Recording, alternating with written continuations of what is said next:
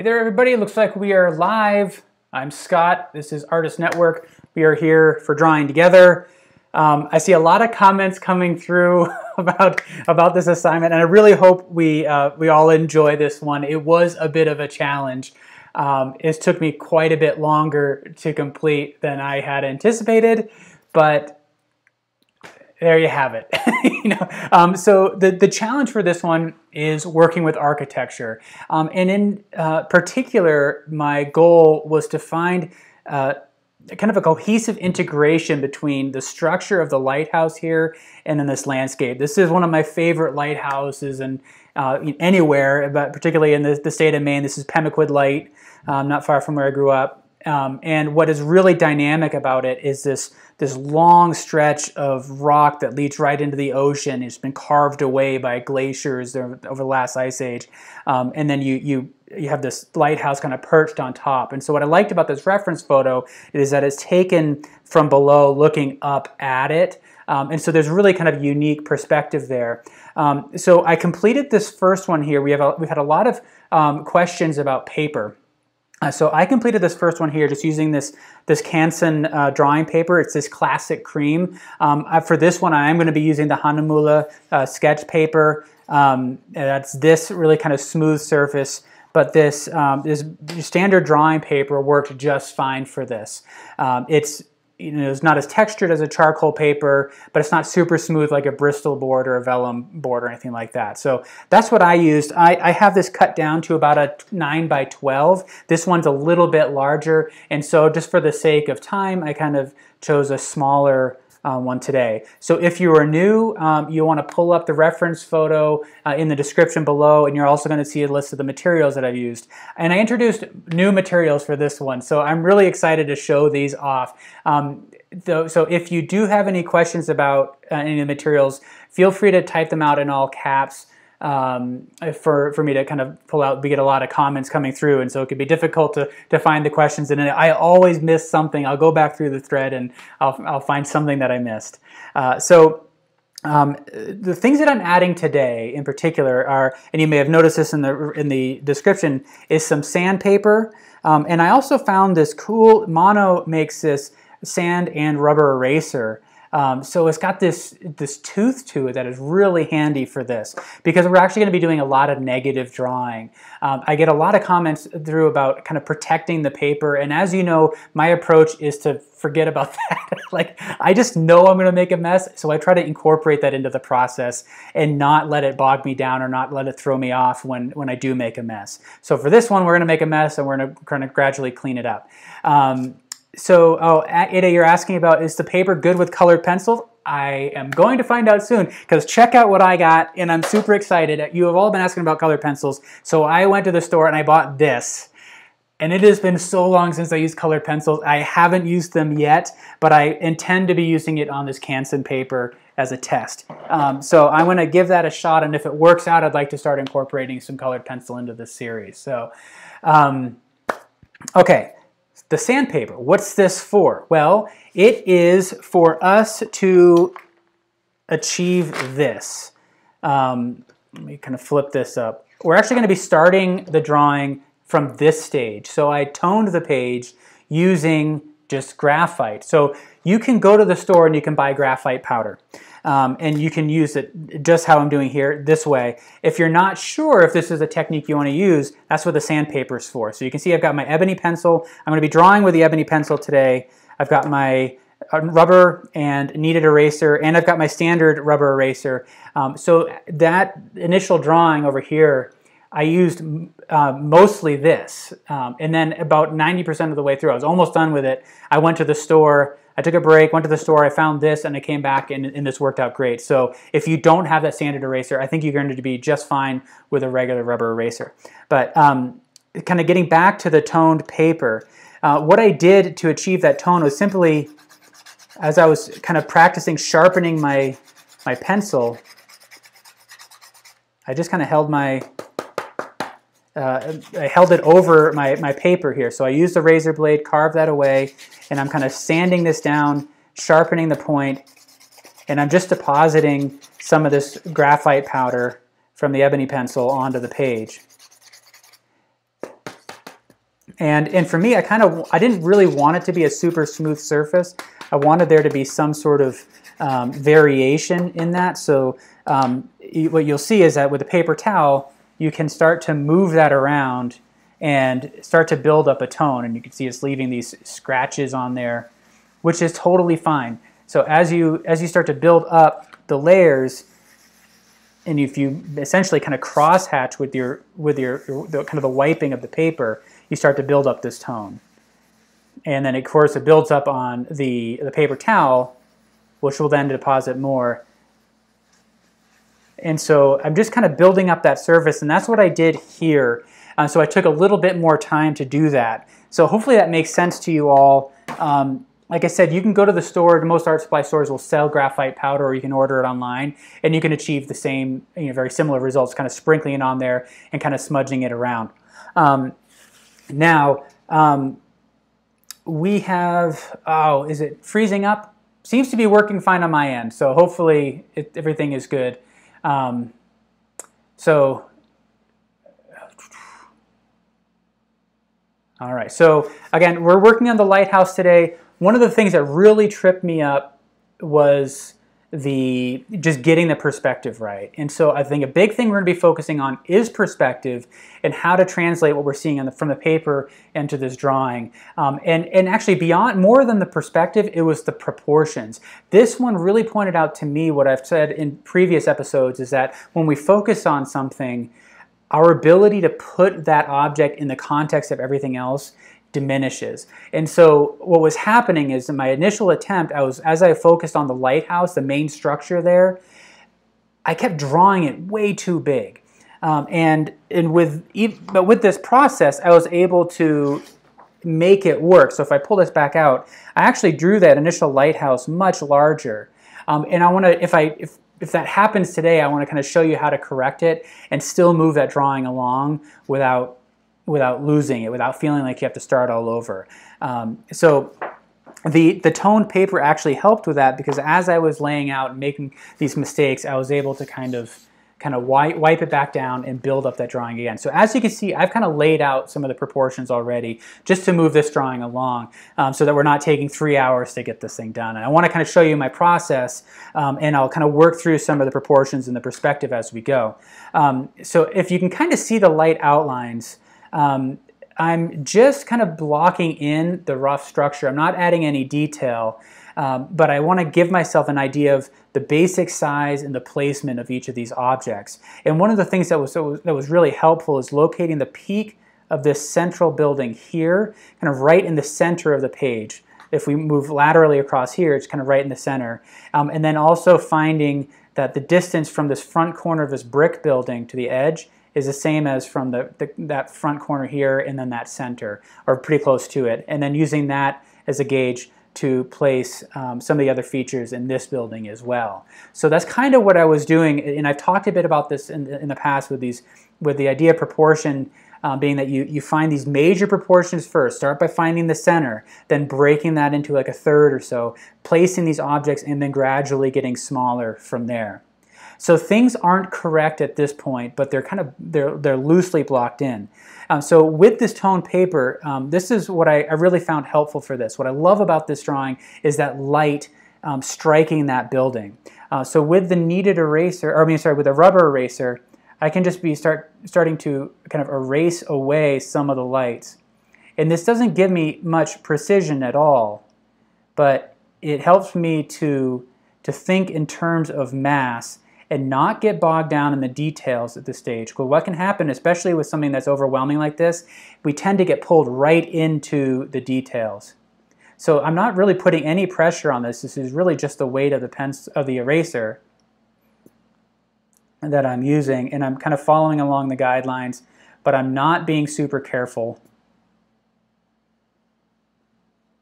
With my eyes blurred, I'm just trying to think through and see, observe the uh, kind of the major shapes of light and shadow.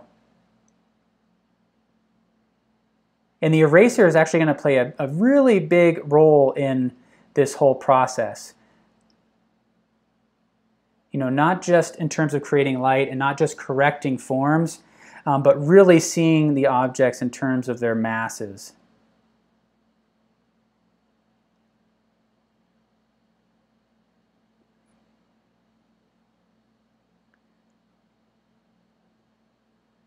So you can see how that how it's already starting to take shape here.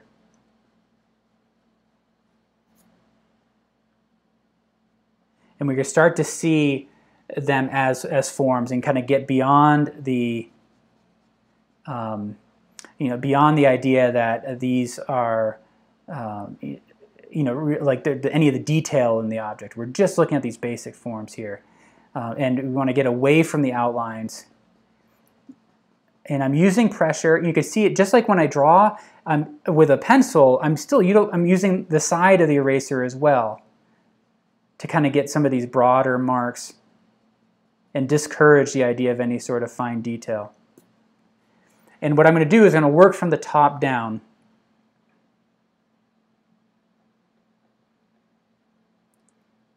I'm going to erase out some of the light here.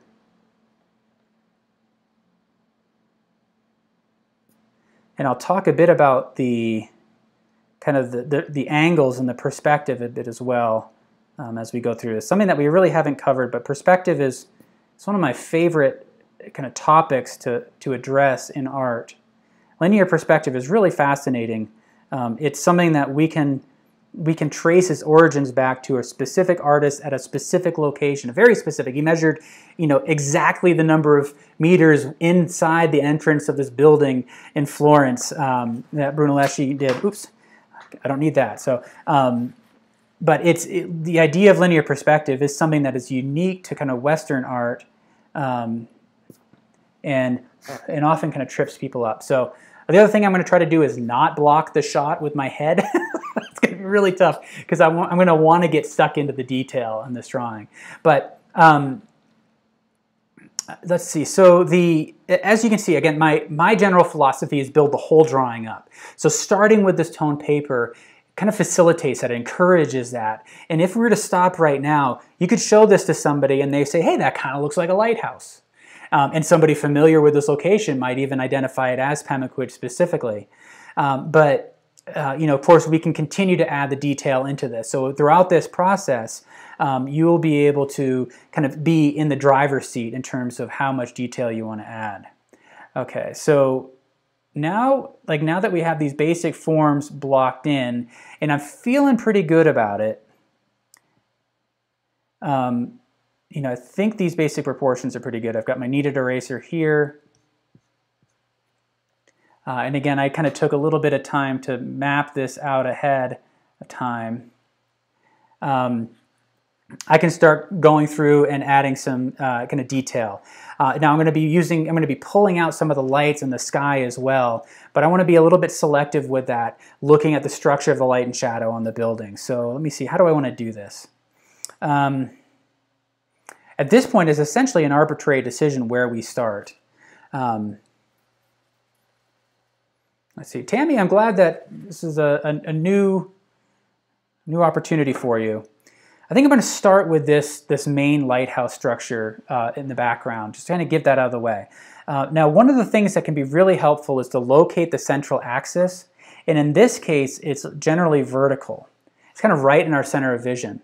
Now, we haven't talked about the rules of linear perspective, but we can see three-point perspective playing out in this scene. We're below looking up, and we see lines leading down to the horizon line or eye level down here, um, and, and we see that happening on both sides of these buildings. So there's two point perspective there. And we can also see a bit of an angle leaning in vertically, pointing to a vanishing point up higher. That's, that adds that third vanishing point. So in perspective, uh, with a three-dimensional object, you, you, essentially can have the opportunity to draw each of those dimensions in perspective. Uh, so in this case, all three dimensions can be drawn in perspective. So we have one, two, and a three-point perspective. Now, I, I don't want to get bogged down into the specifics of linear perspective because I actually didn't use that for this drawing. It, I use angle sighting, and that's how I like to approach most of my drawings. Uh, and then I bring in linear perspective to help reel me in when I get lost because perspective is really kind of insidious because what our we're constantly fighting our brain. So when I look at say this brick building here, my brain says, "Oh, that's those are horizontal edges." right? Um, because and they're parallel. because that's what's important. We want to know that that building is parallel and is flat on the ground. But because of our, our vantage point, those lines actually shift optically. So there's a difference between the literal truth of the building and the optical truth. Um, so in order to find the optical truth, I like to close one eye, hold my pencil up, and align it with an edge of the building. So in this case, I'm aligning it with the, the this bottom edge here of the roof, kind of in the pediment of that building, to try to find that angle. Um, and then I'm going to transfer that over onto my drawing. And I can do that for this as well. And I'm looking for those angles because that helps me to override that instinct that wants to draw them as, as horizontally or sometimes having pointing up in one direction when it's actually going in the other. So use this a lot and that is going to get you most of the way. And then if you get really lost, then you can start to trace out the lines. You can contract them back and try to find vanishing points. So hopefully that makes sense. Again, I don't want to get bogged down too much into the uh, in the, the, the, specifics at this point. Um, but I do know that the, the eye level is going to be somewhere right around here. So that means everything else is above, and those angles are going to be coming down into that, that um, towards that, that eye level. Um, that means I'm looking up at this curve of the, of the lighthouse here. So I want to try to find that, that curve. And this is really all about patience. If I've mapped out, the basic proportions effectively, then I can start to actually focus in on some of the details fairly early.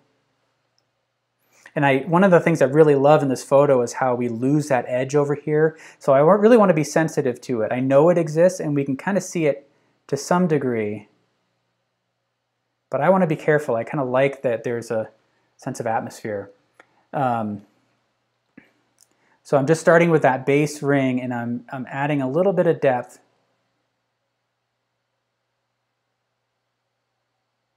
And what I, what I really need to be mindful of is this horizontal axis here.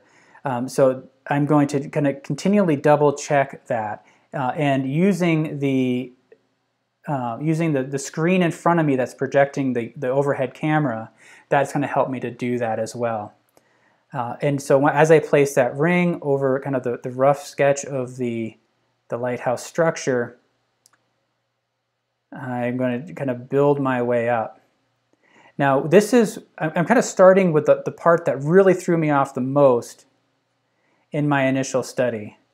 And because what I had failed to do initially was put this building in the context of this building. And I have no idea what this building does, but it's a really cool shape. Um, but just, looking at it, if I take a horizontal measurement across from the top over to here, it helps me to see that this building, even though I know it's much larger than this, is um, actually optically it's below that, that high point there.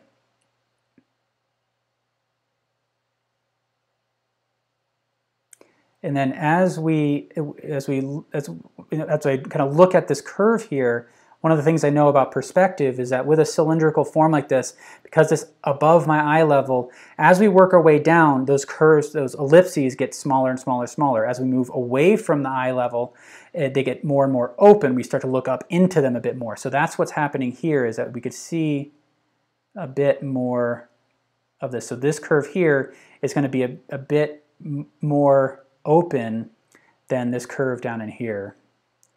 And then there's this structure here, and it's really difficult to see, but I know it's I know that it's kind of a sequence. Of, it's more of like an octagonal or a ten-sided shape. I can't a decagon, I guess.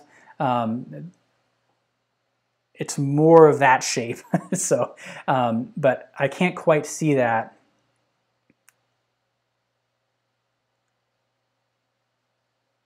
And I'm using the side of my pencil again to discourage kind of detail. Going to map out these forms and then we're going to come back and add additional detail later. Um, but I want to be mindful again of that, that central axis as I go to try, and I'm constantly evaluating the angles and the placement of these forms relative to that, that central axis.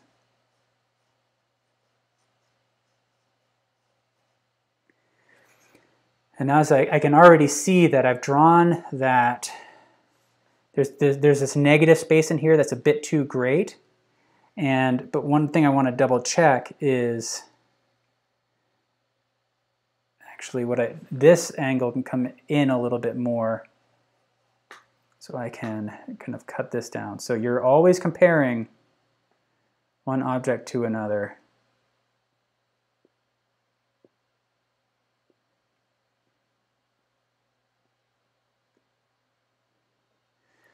And that looks a little bit better, and I think it's still a little bit too great, but I think it's close enough.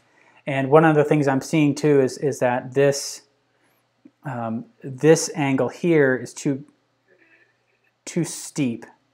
So I think what I need to do is actually now redraw this curve here, open this up a little bit more, make this a little bit wider,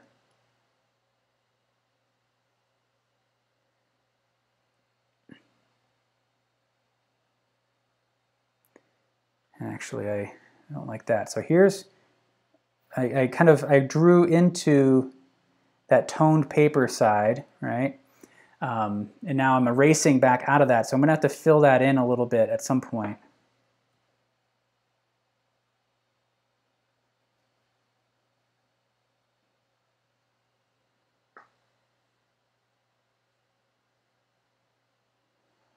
All right. And I'm gonna, I'm gonna be working this guy, I'm gonna be lifting that out.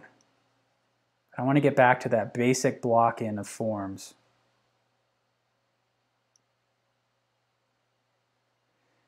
And then I can start to do that over here. And then this, this structure here, like I said, it's really cool structure.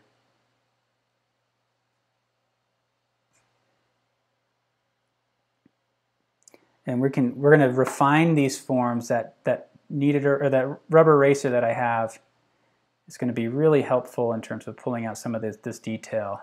And some people use a kind of a mechanical pencil eraser to get in some of those fine details, and that might be helpful for you as well. But um, you know, I find that I don't necessarily need that level of kind of refinement in order to get the detail that I that I desire.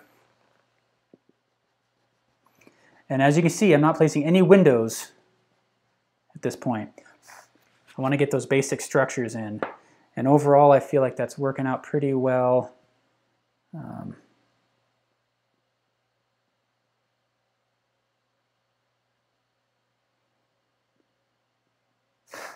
I kind of overcut the roof here. That's okay because I can come back in and kind of fill in some of these lines. Uh, so one of the things that I see that in, in a lot of kind of beginner work that were that I feel like could be helpful is in knowing that you can continually rework an area. There's a there's a tendency to get right into the uh, right into the detail and like especially create an outline and then that outline becomes a foundation that everything gets built on. But if that outline is is incorrect or if it's off in some way, then it's hard to adjust once once that detail has been placed in there. So that outline really is just a, a guide, but you're always refining. And I want to be able to hopefully show that in this process is that um, you can continually adjust. Um, got a question, how many years have I been drawing? Um, you know, when I, when I, I, let's see, 25 or so since I really gave it um, my kind of best, since I, when I knew that I was going to be an artist um, it's been about 25 years. All right, so I'm kind of working my way across this area. And I'm going to be working the sky actually in a little bit. I want to kind of map out these buildings first. Uh, now, one of the things to be really mindful of is the structure of light and shadow over in this area here. So I'm just going to erase this out as a shadow shape as a light and shadow shape. And then I can use my shading stump here to kind of sneak up on the shape of the light and shadow. So I see something that's off here in terms of the, the perspective. Um, and that is the this peak here, in terms of perspective, is not placed over the center of the building. So I need to I need to do some um, checking in on that. Now one of the things that you can do to help find that is if I'm happy with say this edge here, and I think actually I think this edge needs to be moved over to here. And we can generally see the bottom edge. This corner is kind of obscured, but if you if you create an X from corner to corner that gives you the, what's called perspective center. That's the center of this building when drawn in perspective. So then when you, when you draw a line vertically from there, that'll tell you where the peak of that building should go. And, and uh, this peak should be right here. So what I need to do is actually, I think I need to make this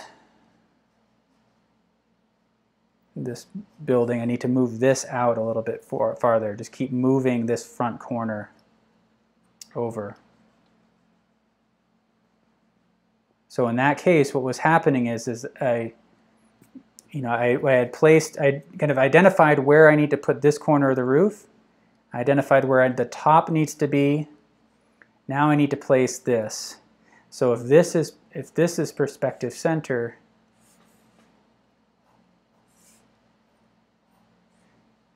This front corner should be right about here.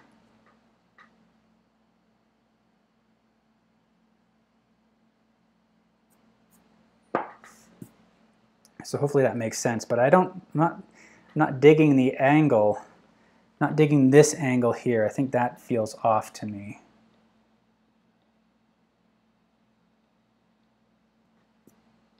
See, I'm not being precious with, with those things. I'm trying to trying to work the work the paper to find find what I'm looking for.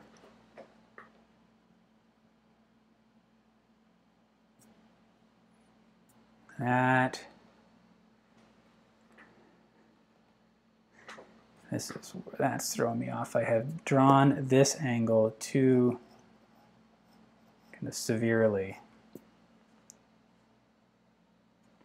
So hopefully what this shows you is, is kind of a process for adjusting and evolving the perspective on your page rather than trying to get it right the first time and, and then kind of fill it in.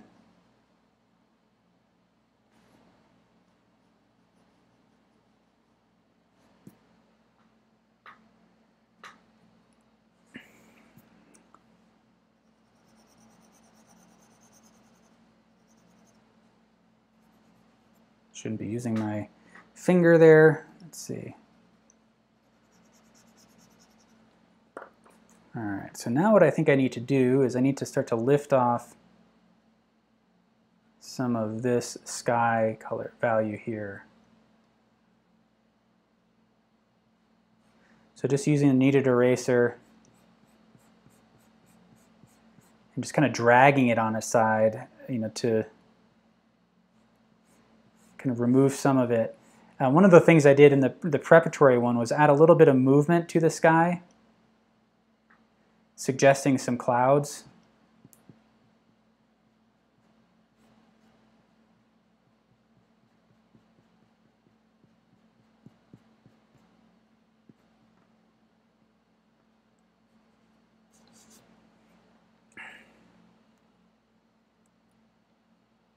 Uh, sorry, this is so this is uh, this is requiring a bit more focus than normal. So if I'm missing any critical questions, I apologize. They they kind of scroll by pretty quickly.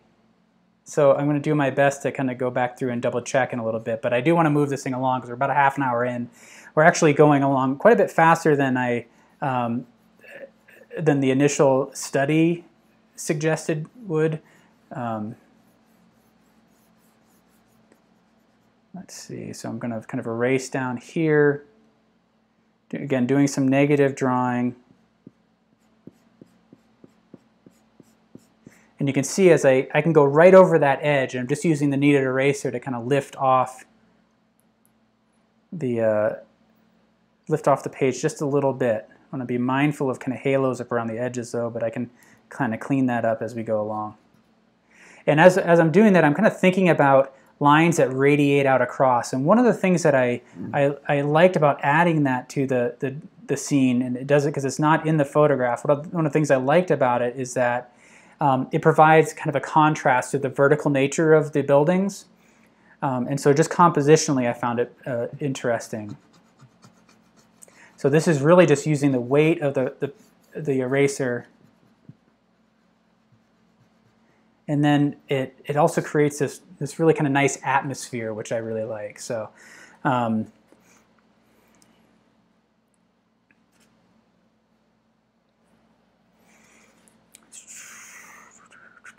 okay, just want to just double check seeing any proportions. I see people sharing their kind of experiences.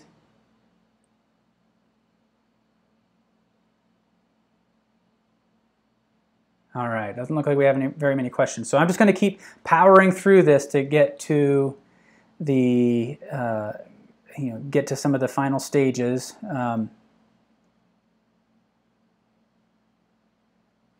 need to kind of see, so what happened there, you can see I was erasing and it didn't do anything because I picked up too much uh, graphite on that corner. So what I'm doing is that as I'm erasing out that, that light area, and I'm going to smudge that back a little bit. Because I need to really pay attention to this. What's happening in here is that the, the structure of the roof line here is such that there's kind of a bit of a cap, a molding kind of up here, and then it cuts back into the roof. So I really want to be able to see that. Uh, so what I'm going to do now, actually, I'm going to draw in that shadow.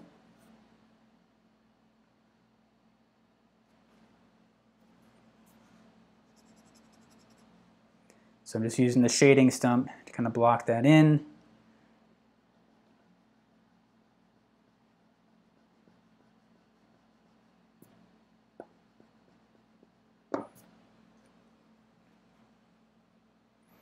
Let's see.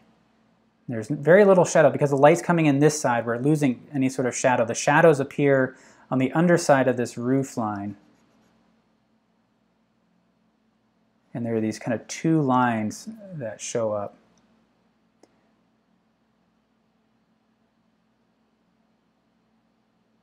So now that I'm happier with it, I can go back in and start to refine some of the edges. Now I'm going to bring out, this is that sanded eraser.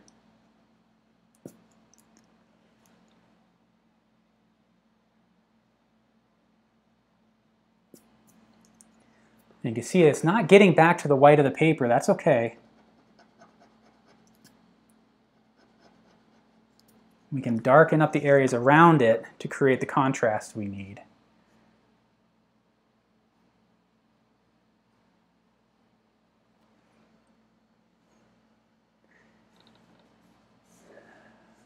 So I apologize if I'm not talking quite as much as I normally do. It's just one of those things where this requires a bit more focus than some of the others.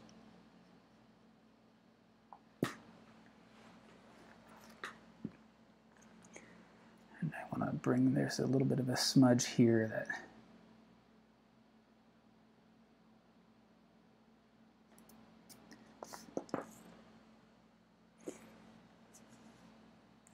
In this paper here, one of the things I notice is that there's a diff big difference between kind of the cream color of the other paper that I used and the this bright white that this uh, this paper allows me to.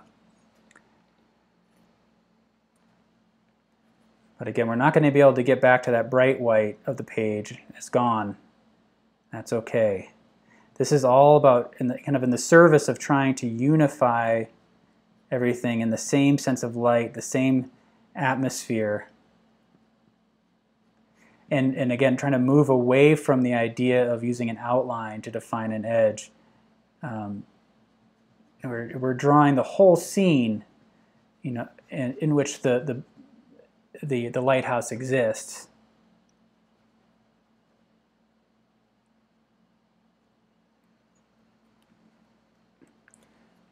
All right.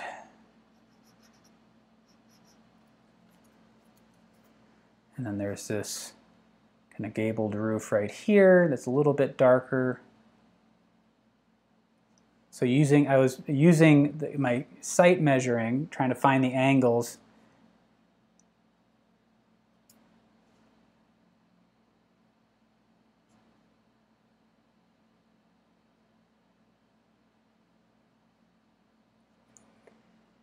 And what I'm going to do is, and this is going to be a little bit darker than that roof line to suggest that the light is catching on there.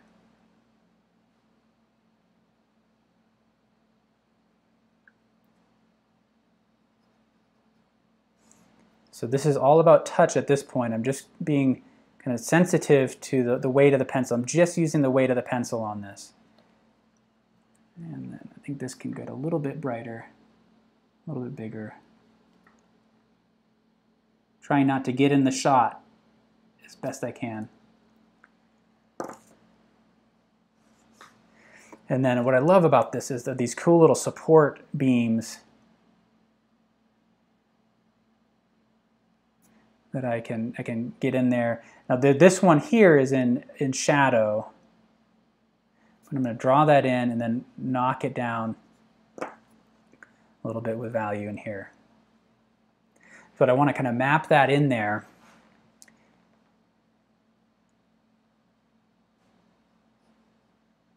I'm going to place that front corner.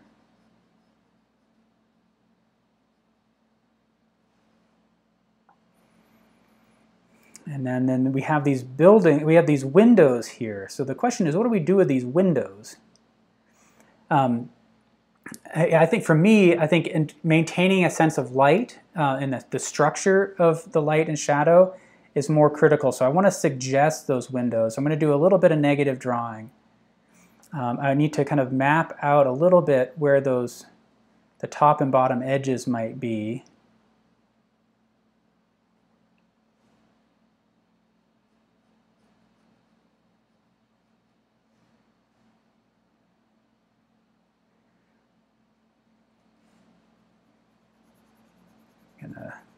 Kind of build up the haze there, drop that back into shadow.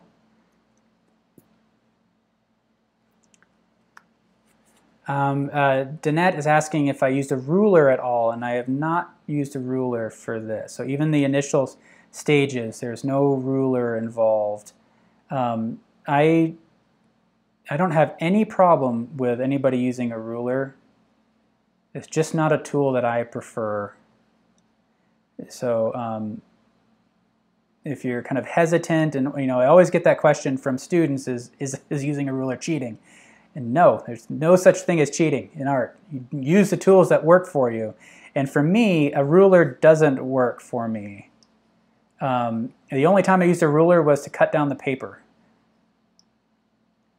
Um, and it's because I I don't necessarily need the ruler to create a, a straight edge, and then the, the straight edge tends to be too artificial for me. So then I end up breaking it up anyways and hand drawing on top of the ruler. Um, so I just kind of have taught myself to not use a ruler at all. Um, so you can kind of see that the, the white um, kind of structure of these windows is starting to be visible just by darkening the shapes around it. And I'm trying to be mindful of halos and around the edges. There's a bit of a shadow underneath this support.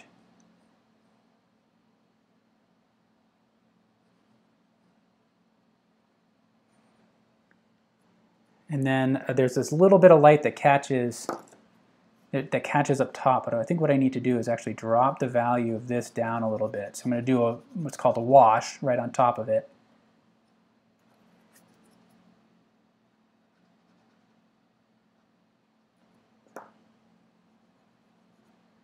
Going to smudge that a little bit.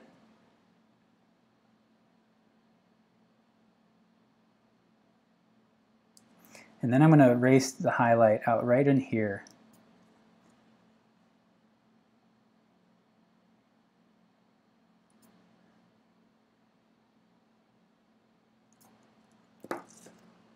And what I, I kind of like about this process too is that you know these edges are not super hard, super crisp, and it helps to lend a sense of atmosphere to the space um, that is actually you know, something that is more present in a location like this. It's been years since I've been there, uh, but it's a, I just love that space.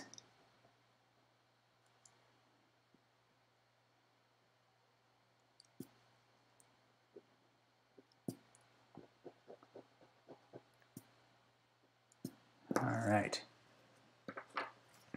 I'm going to reestablish this shadow because I just erased that out, but there's this shadow right under here, right in that molding. And then there's another one.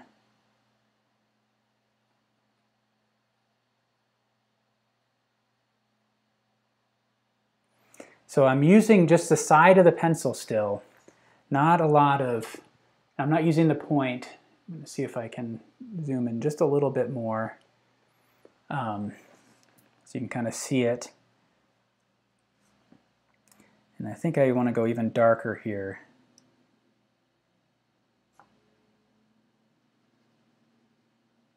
Especially right in that corner. Kind of bring that corner forward. This back corner is largely obscured. So I'm just going to so I'm just going to kind of erase back here. Very light pressure on the eraser. Kind of bringing a little bit of light in on that side. And I got to get that bell in there, don't I?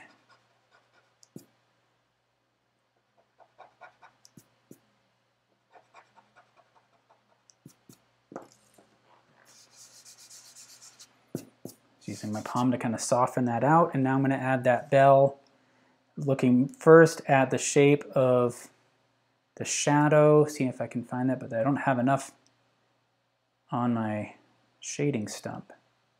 Just a thin line here to represent that ellipse for the bottom of the bell.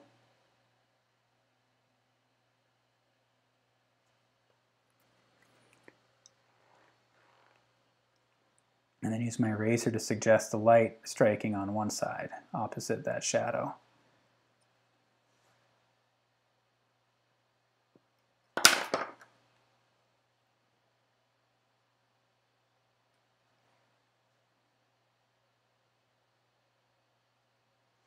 So if I use the side of my pencil for most of the drawing, when I need that fine point, I can use it. I can get to it because I haven't degraded it. Um, so I'm just going to, what I'm doing now is just kind of sharpening up some of these corners here.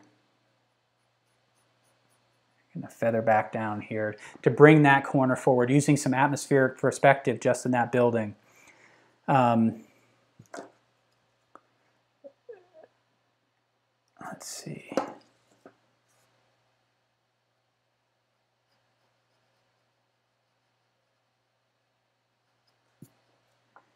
And then there's this, uh, this bush back in here I'm going to start to suggest. And I love this rock here in the foreground. So just using the side of the pencil, I'm going to suggest that, that bush there. All right, now let's try to, let's tackle this window and actually we'll move from left to right, even though I said it's going to kind of start in the middle. Um, since we're on this building and I'm feeling good about the, uh, the basic perspective and the structure so far, I think we can stay in here without losing sight of the whole. So I'm going to place this, I'm going to find perspective center again. So it's right here. And what I'm going to do is, again, I'm going to be looking for the shape of the light.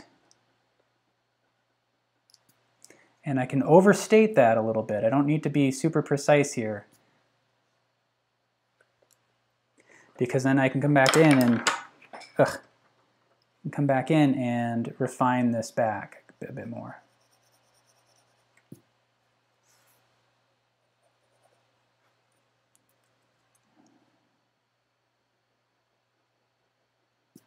like that sharper edge there.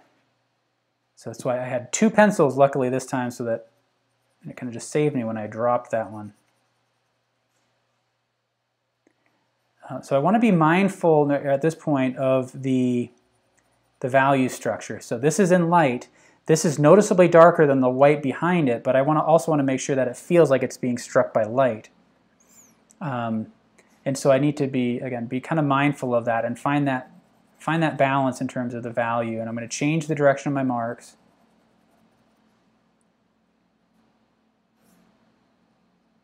And there's a little bit of a thin shadow right on this side of the, of the window.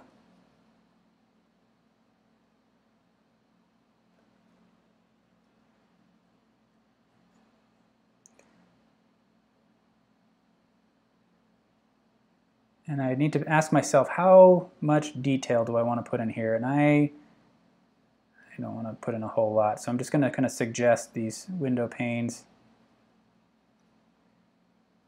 know if I if I load this thing with detail the windows and it's going to suggest to the viewer that that's really important we got to look there at that window and I don't think that is I just I want to what's more important is that it stays on the side of that um, that building, it doesn't project forward. So adding just a little bit of darkness under here where there's a bit of a shadow, under, under here, maybe under here under the sill, just a little bit. Um, and that's enough to suggest that. And I want to double check kind of the verticality. I, so I'm, when I'm looking up at the screen here, I can kind of see what it would look like at a distance and see if anything kind of stands out. And I can use this eraser to suggest a little bit of texture too, just kind of pulling across the plane that building. So it's not really lifting, it's just kind of creating some of these streaks in there that suggest some texture.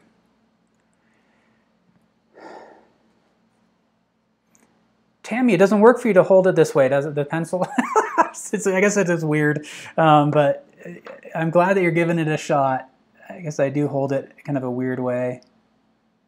But it just kind of evolved out of what, I don't know, what works for me, I guess.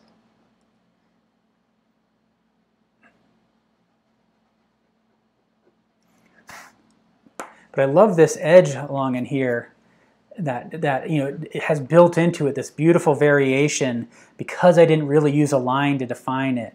Uh, and I have this kind of mottled background here, and then that sharp edge that's been cut away with using the eraser.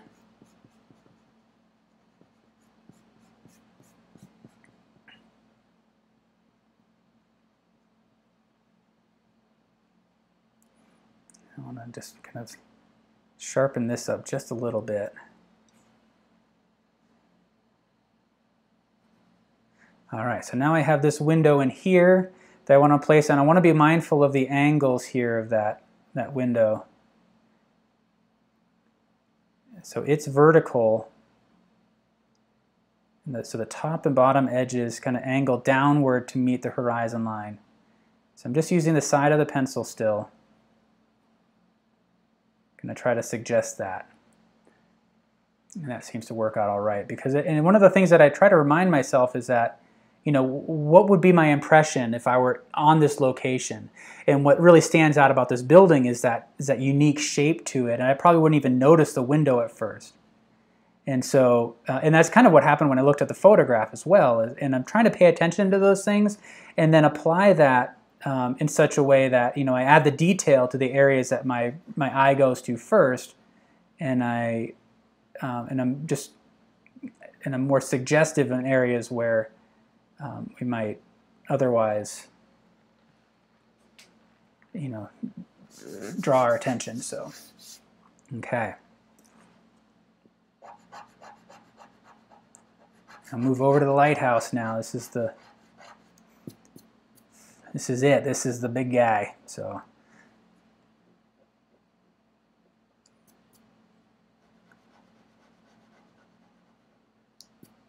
There's a, I can see there's some there's some marks on there that just aren't coming off. That's okay.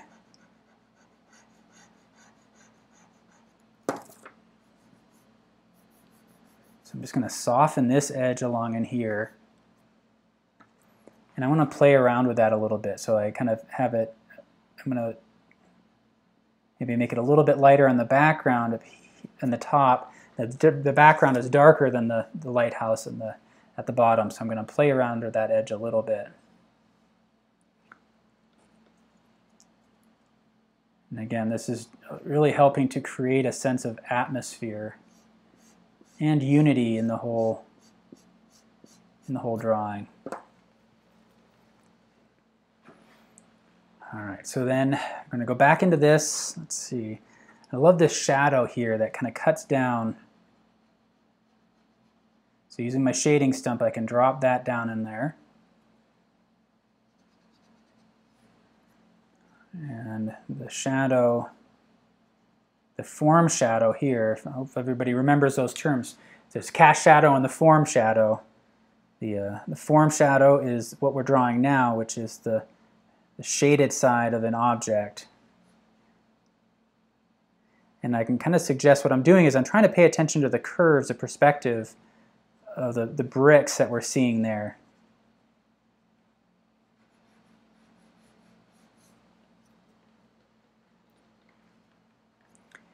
And kind of suggesting them. And the shading stump works out really well to be able to do that.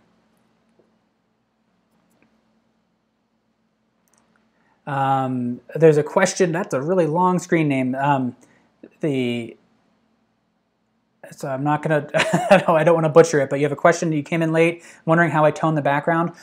So this is just graphite powder that I used. I just had a piece of sandpaper, just shaving my, uh, my ebony pencil against it, dropping some kind of shavings onto the page.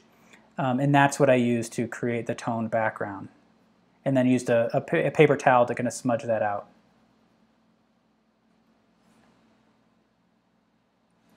I don't want to. I don't want to use the point of the pencil there.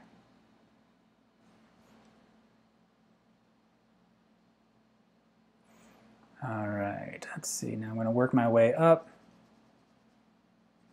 This is a vertical surface, so I'm going to be just running my marks vertically, and then try to kind of clean up that top.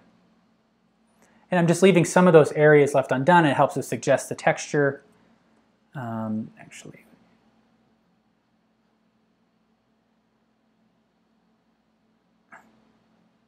so you can see what, I, what I'm doing there is I'm placing the eraser, kind of vibrating it just a little bit to find that edge and then pulling away, and that helps to reduce the, the, the halos in the, in the scene.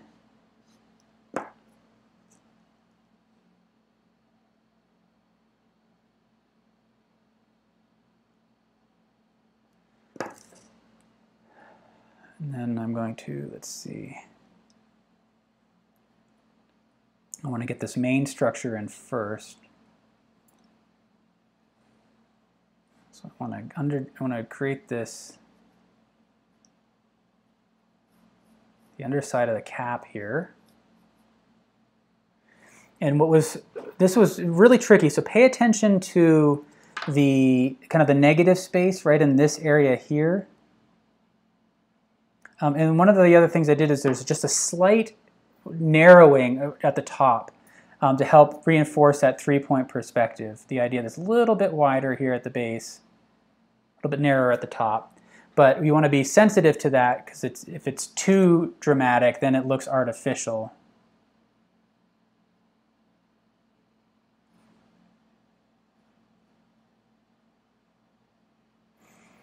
All right, so now we got this conical top. So again, be mindful, find the center axis, work your way out.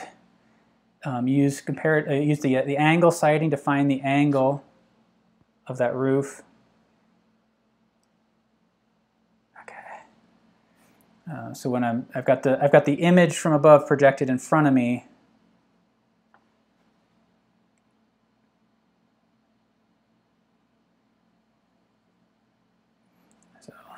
How does that feel? That feels all right.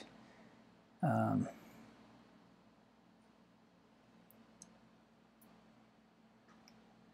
let's see. And now I want to kind of suggest the suggest some of the details. So I'm just going to use the side of the pencil.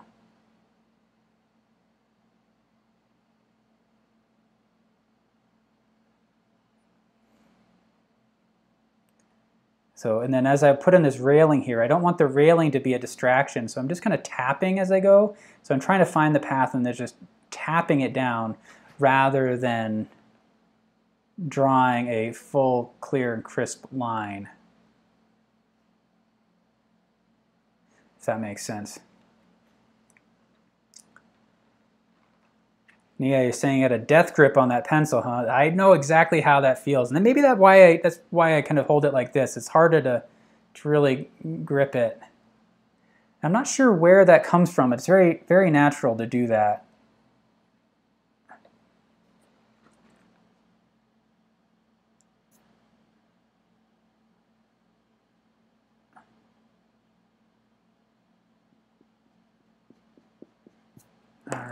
Now I think I need to establish this just a little bit. I want to, I think that edge is too lost. So I want to slightly suggest that. And then we have the little, we have these branches kind of peeking out behind here that I'm going to exaggerate a little bit. So I, there's the space between these two buildings is too great compared to what I see in that photo, but that's all right. Um, so but just by dropping that in, um, we lose the edge here, but um, our brain kind of fills in the rest. Uh, and so I really like the way it creates that lost and found edge to um, really kind of play on our understanding of the, the um, atmosphere.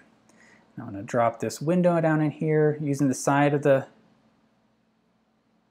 pencil here. So I'm looking at the reference photo, trying to hold that shape in my mind, and then just trying to, you know, when I'm looking at the paper, it's more about making sure I'm in the right spot. Oh, there's a little bit of light that strikes on the inside here.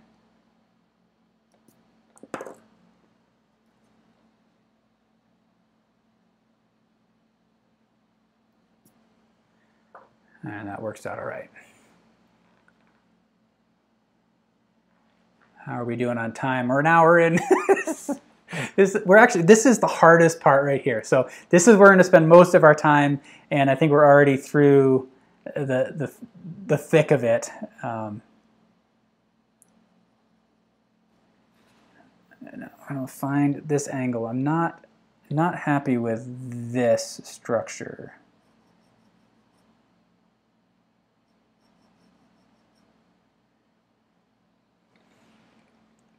So with these with these roof lines here, one of the things that I often see is you know have one angle for the front and then the back one is kind of too vertical.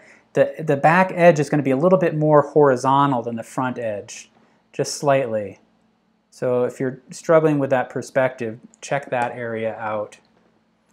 And then I'm going to drop in that shadow underneath there. I'm going to erase this back out. So back and forth with the eraser and the shading stump.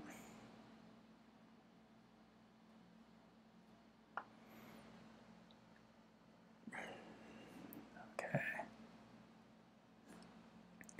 And then I want to be mindful of that overhang of the roof here. So I'm going to kind of erase this out then shade it back in.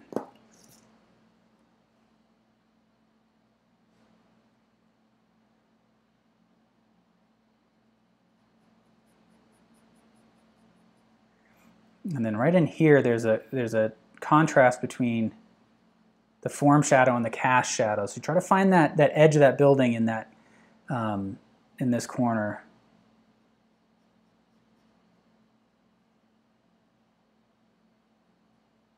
Suggest that window.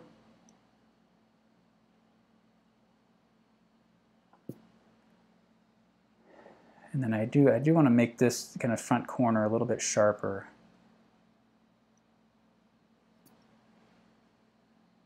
And then right under, the, under this sill here, it's a little bit darker. So it's not just a solid value. It's a little bit darker here, then fades out.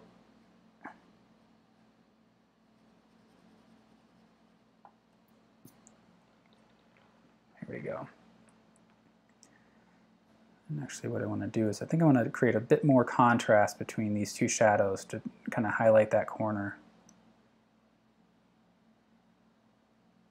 And then there's that fence in front that kind of lose a little bit, but I might be able to suggest the form There's this shadow under these, underneath that.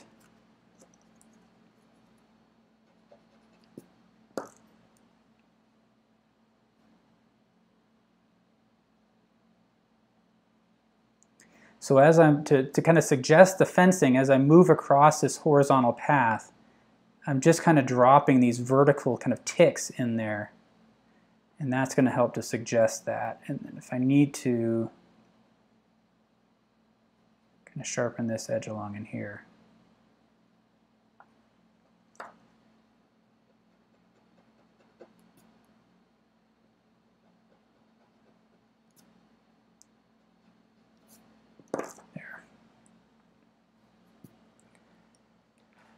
All right, how's everybody doing? Whew. This is a bit more focused than some of the other ones. So again, I apologize if I'm not talking enough or if I'm doing something and you're curious about why I'm doing something. Um, I'm not explaining things quite as much as I normally do just because this is requires a bit more attention. Um, now I'm going to scooch over a little bit here. Hopefully I'm still in the shot. Um, and I want to start to map out this side of the building. So using my eraser here, I'm just going to kind of tap along to try to find some of the lines here. But I want to be careful not to pull up too much of, the, of that, because this is all going to be in shadow here.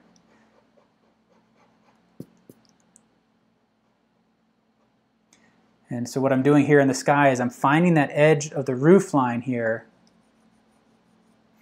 And I'm placing the, the eraser kind of along that edge and then pulling away, kind of scraping away.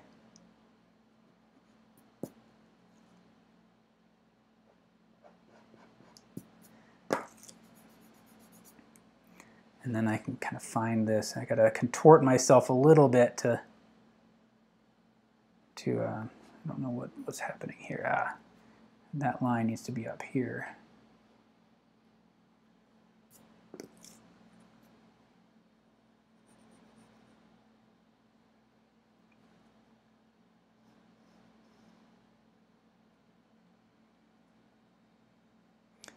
All right, so as I move across, I'm gonna, I kind of, I have that roof line dropped in there. And I'm trying to be mindful of where this point is relative to this building. And I'm also trying to be mindful of the angles because one of the things that I really struggled with in that initial one is I, I drew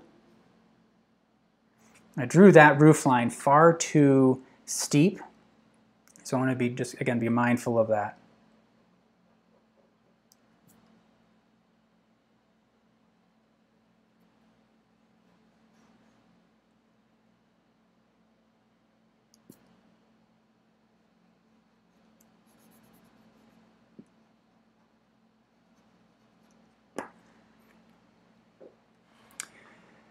Does a cylinder like that round lighthouse follow the rules of perspective? It absolutely does, in the sense that with that cylinder, because it's above eye level, the farther above eye level you go, the more open that ellipse will become. Um, and you also want to be mindful of a horizontal axis for it. All right, I think what I need to do is I need to drop this, uh, the stairs in here. So just using the side of the pencil, just kind of scraping down the side.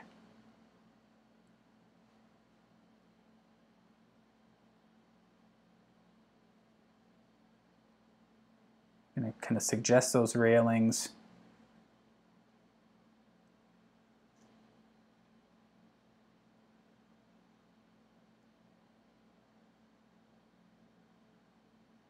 So as I'm doing this, I'm trying to be mindful, before I place a mark, I'm looking at other landmarks. Where am I relative to this roof?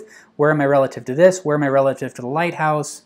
What's below it? And all of those decisions I'm making kind of quickly and as we get over here, there's these, this ivy or something kind of crawling up the side. So I'm just kind of varying my marks, kind of squiggling them across the page to suggest that.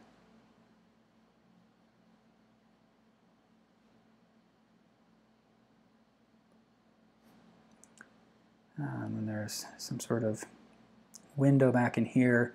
I can't really make out what's happening. All I can do is I can see kind of shapes of light and shadow, so I'm not worried about um, being super clear with my descriptions in any of these areas. I just want to be suggestive of the of the forms.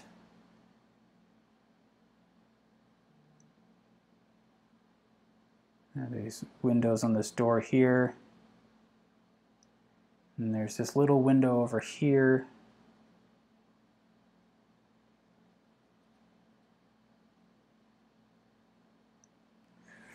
Uh, that I'm suggesting. So I think that from a distance that seems to hold up pretty nicely. Uh, I don't think I got the proportions quite right, but pretty close. And then what I love here is that you can kind of see this, there's this bright light hitting here that I'm erasing out again. And then what it's doing is it's, it's bouncing off of this wall and then striking like right in this corner here. So there's a little bit of bounce light.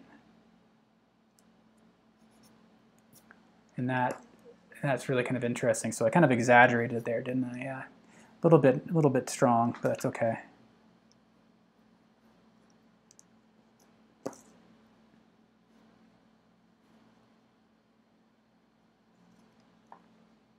So there's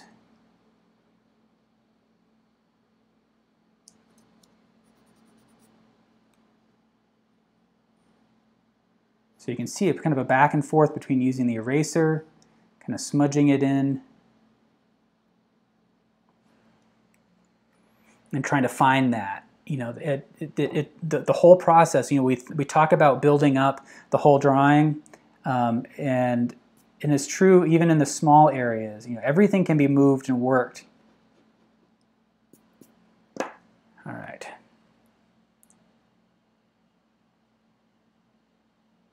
All right, DG saying you're gonna kind of not able to keep up. That's that's totally fine. This is going faster for me now than it did when I did made the preparatory one. Um, so there's this little cast shadow here, so that's totally fine.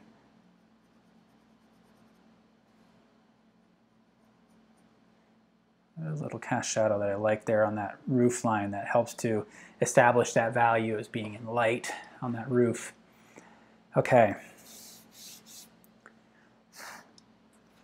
And right now my shoulder is nodding up significantly, so. ah, this is, this is what needs to happen.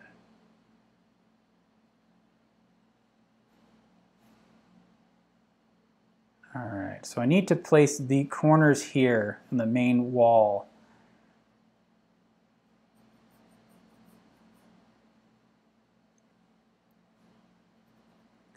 Actually, bring this over a little bit. This light can be brought over.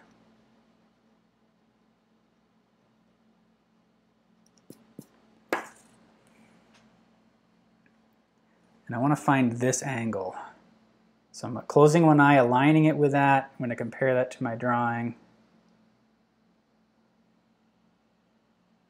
Yeah, and this needs to come down just a touch more here.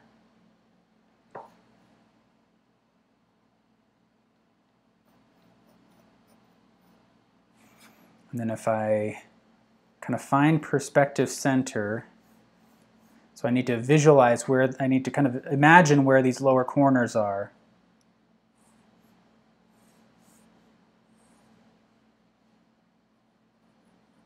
Draw a line up, yeah. So that corner, that top corner right in here seems to be all right. So basically I'm creating that triangle, starting with this angle here, then finding perspective center to place that third one right above it.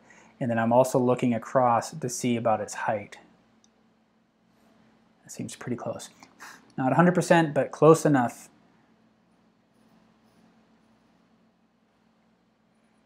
And then right under here, there's this, there's this sill. So there's this darker shadow right in under, kind of offset from the edge of the building.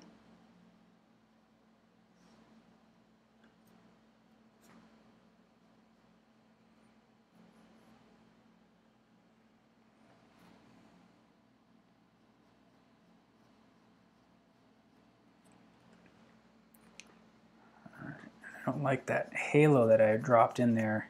So what I'm going to do is I'm going to try to attack that again. I kind of smudged it out. I need to be erasing a kind of a wider area. So this is very much how I would tackle this if I were painting this. Uh, too much of a, too much of a halo, so I'm going to darken. Kind of that gradient is too too strong. So I'm just kind of lightening out.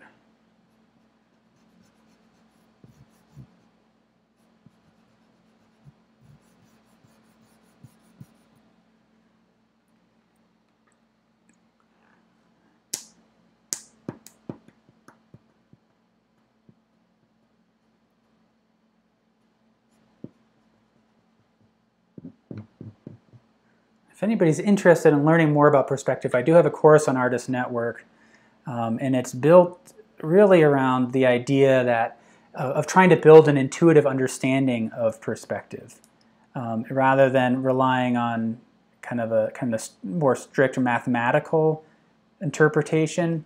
Just how do you build an intuition about where angles should go? How do you see it in the world? Um, and so I try to build it that way. So the idea is that if you're out sketching on location and you don't have all the tools available to do a really strict linear perspective drawing, you know, like how do you how do you see that? Um, so something might you might check out. All right, feels a bit better. I like that. I really like the texture of the sky. I feel like that's working out well, and I feel like everything is not still integrated into that atmosphere. All right, so now I want to place this, this window. So I want to visualize the path.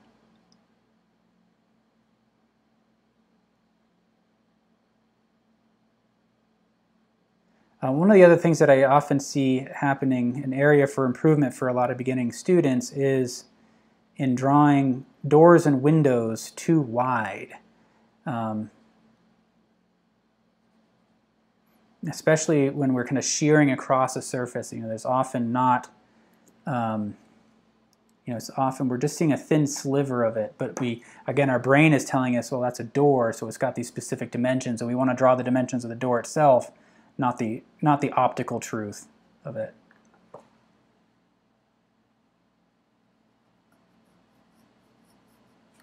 I think I need to kind of sharpen this edge, so I'm just kind of tapping along that edge there to kind of sharpen it up.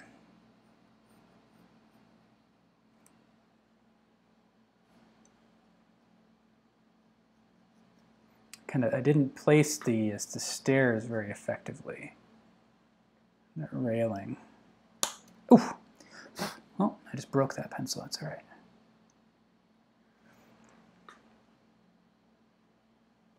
Still got that sharp edge that I need. All right, then there's this gable here. I'm to drop that in. And a lot of this building here, this part of the building is obscured by the trees. So I just want to suggest these forms.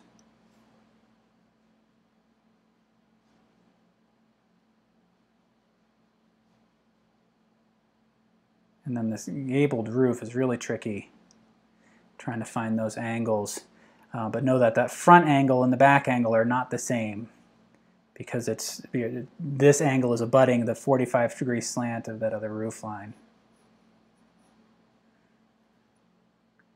And I'd like to, I think I just want to kind of pull this out a little bit. Actually, what I'm going to do is instead of lightening up that roof, I'm going to darken this whole side. So I'm going to give it a wash, just using the using the side of the pencil. I'm rolling it in my fingers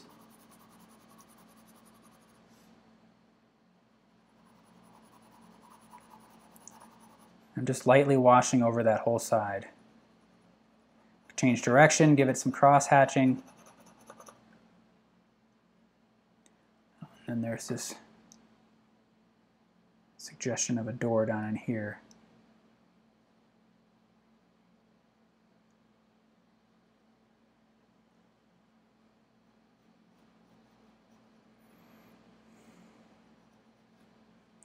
So now I'm not doing actually a whole lot of work here. I'm just kind of cleaning up the edges that I had suggested using when I pulled them out using the, uh, the eraser.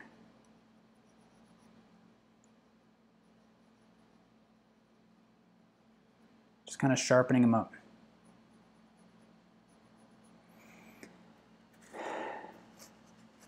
Oh, JC is asking, it's a, it's a course that I created on perspective. And I think it's just called Perspective Drawing. Um, so it would be listed, if you're on artistnetwork.com, it'll be listed under the courses, not the videos. Uh, if you're a subscriber, it should be as part of the subscription, though. It's a little bit of white flecks kind of peeking, peeking through the trees, so I can kind of suggest those. All right. I still feel like I need to darken it just a bit more down in this area here.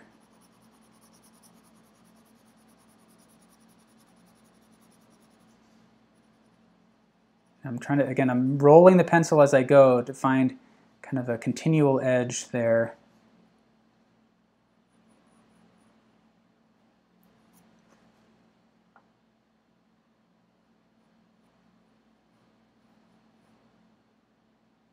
And what I like about doing that wash is that it, it also kind of locks those windows into that side um, so that we, um, you know, it doesn't, doesn't leap off the page. Again, we're trying to be, you know, leading by light and shadow for this. All right, so I think that's about all the detail I want to go into for this. So if you're working along with this, I mean, you can continue to you, you know, add details to this whole area using these same, kind of same techniques.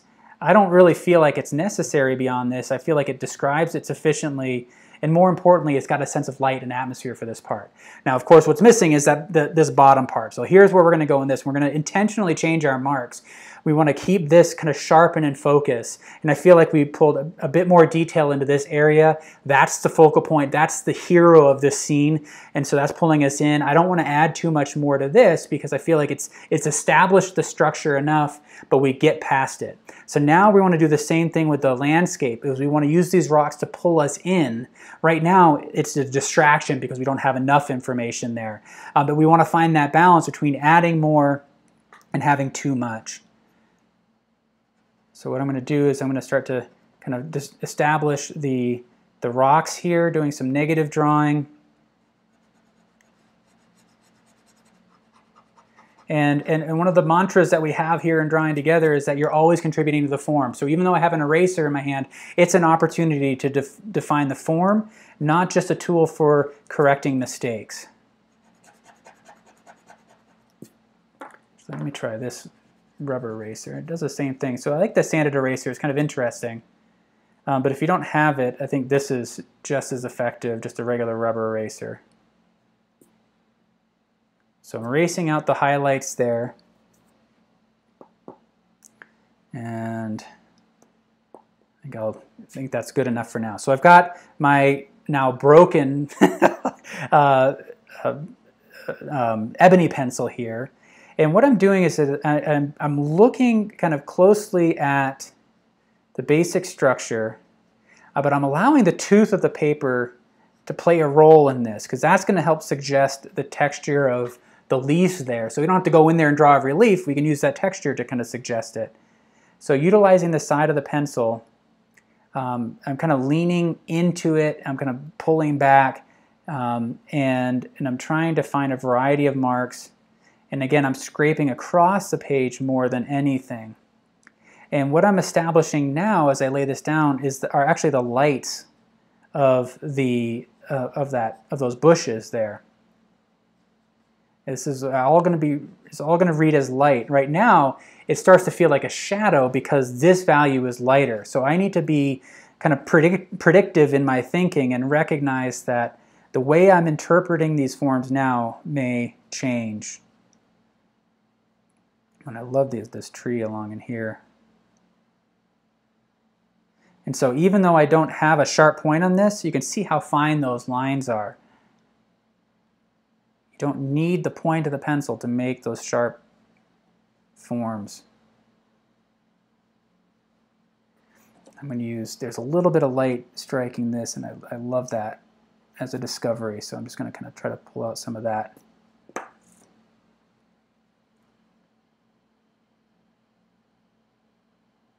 Shade in on the, the other side of those lights.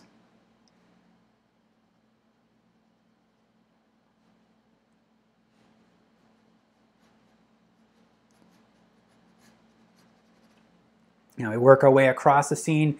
We're kind of working from background to foreground. Um, so now we have these trees back here, and there's this little kind of spruce tree Again, I'm trying to look for that general shape. So when I'm studying the, when I'm looking at the reference photo, in my mind, I'm practicing the mark I'm going to be making. And when I look at the paper, I'm more concerned about where I'm at and make sure I'm in the right spot more than anything. Um, and then I, I kind of execute on that, that motion.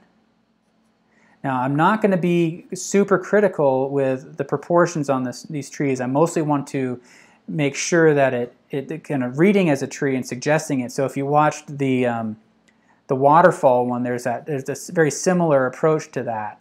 Uh, we want to give the, the brain just enough information so that it doesn't kind of second guess what these objects are. It's gonna, we want the brain to say, "Oh, that's a tree," and that's it, and then ignore it.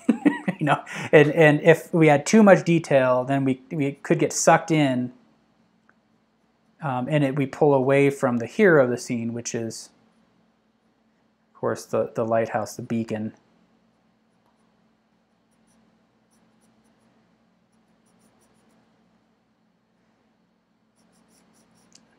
So when I'm looking at the tree, what my mind is saying is like, how does that shape flow? How does it fill that space?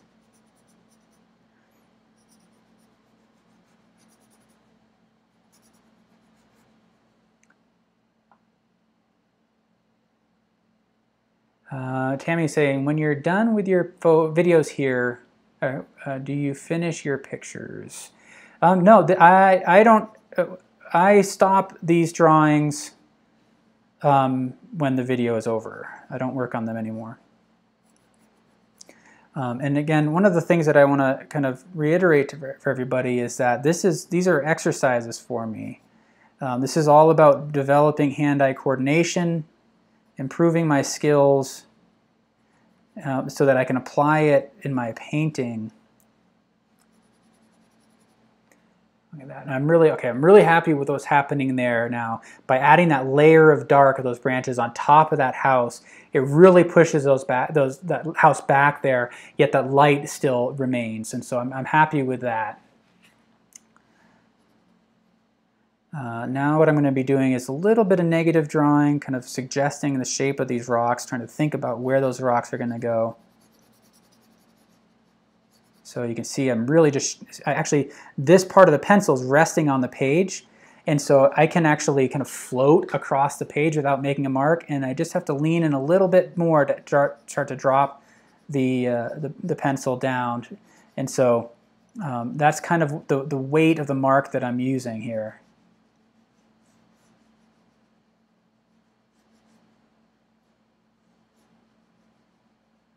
And I want to do some, again, some negative drawing, looking at those rocks.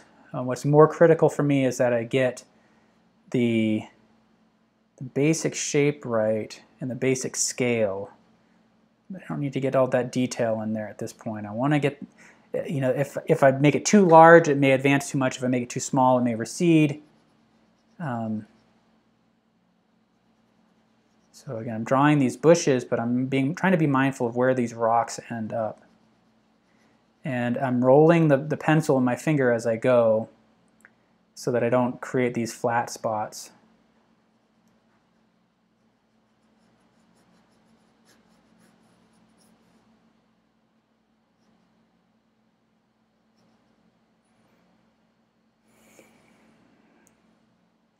And as I, when I encounter a dark spot, I like to do a quick check-in to make sure where that I'm in the right spot. Um, and so in this case, I saw a little bit of a shadow under here, and I, I wanted to make sure that it's generally in the right spot relative to this building.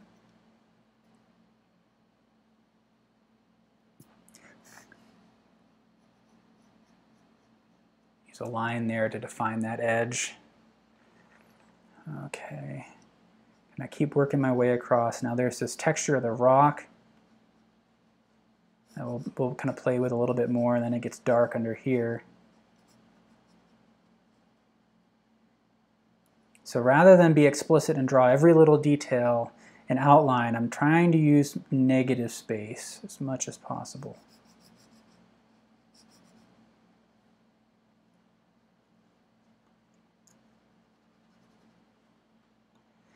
Um, and this is where, you know, like, it, it, I don't think I would have been able to do this when I started this series. Um, I had been, it had been such a long time since I really practiced drawing. I kind of ease my way into it. So if you're kind of new to this series and you haven't already, it might be worth it for you to kind of go back to the beginning where I started with a simple cup. Um, and but I, I feel like I throughout this series, we're on episode what 46 or something um, it's giving me a bit more confidence to tackle some of these subjects.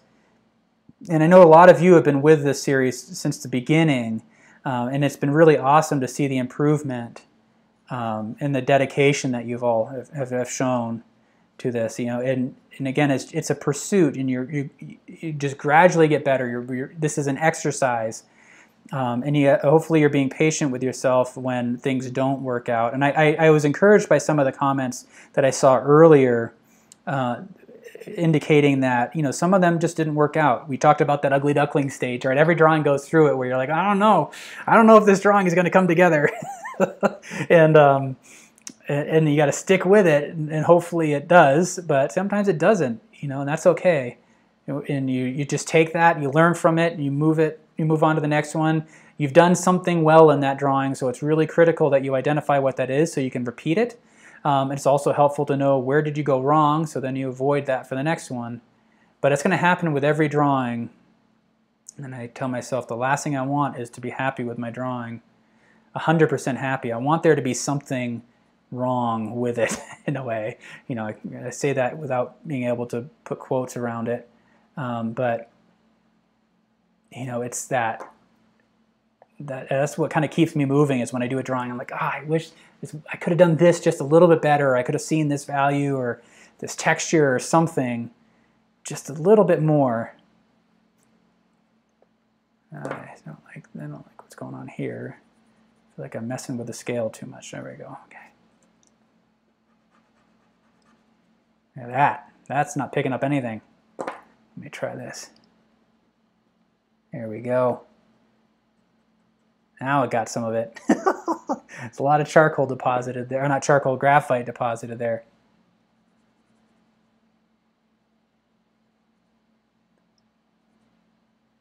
So again, I, again, I don't know as if I would have been able to really tackle this subject if I at the very beginning. I've needed this all as, as practice and warm up, and I've noticed myself my skills have improved and I'm going to walk away from this drawing, you know, identifying things that could be improved more, you know. Okay, I'm going to drop this shadow in because I think this will be helpful to establish this value here as, as being in light.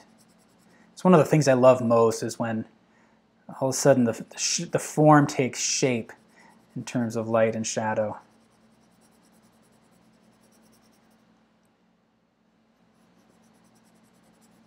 And so I, I just, I'm thinking back to when I initially laid this value here, it felt like a shadow. But when I darkened the other areas around it, now it no longer, it, now it all of a sudden becomes light. And that's pretty wild to me. Uh, one of the things that you could do for this as well is incorporate um, kind of a black pencil, either you know carbon pencil or black colored pencil in some of these dark areas if you want to. I did that in the preparatory one, and I, I don't have that pencil with me now, but it's all right. All right, how are we doing on time? We're about two and a half hour, I mean, an hour and a half. Um, did you start, the, uh, Rosalie's asking, do you start sketch with a lighthouse or left to right? Um, I started with this first, and then I've kind of been moving away background from background to foreground. Um, and so this will go up as a recording. And so you can kind of see the very beginning if you'd like.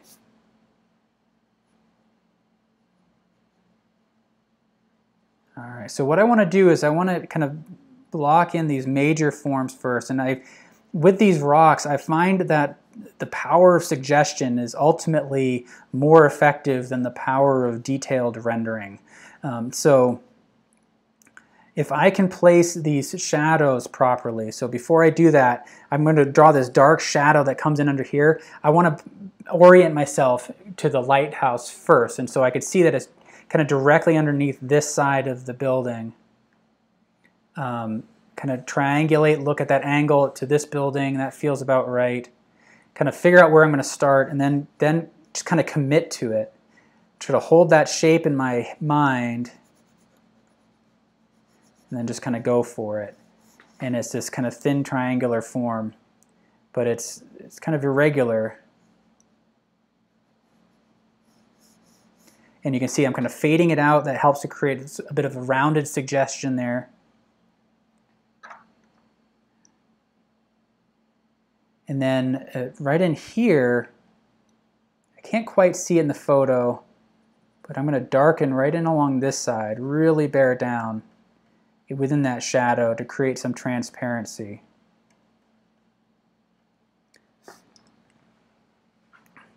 And then I can do the same thing. I can kind of work my way across.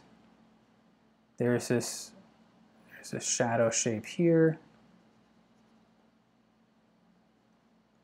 And then there's this other kind of band of shadow that kind of comes in and out. There are these little teardrop shaped things that where the shadow comes in. And I want to be mindful. I don't want to have them be too consistent.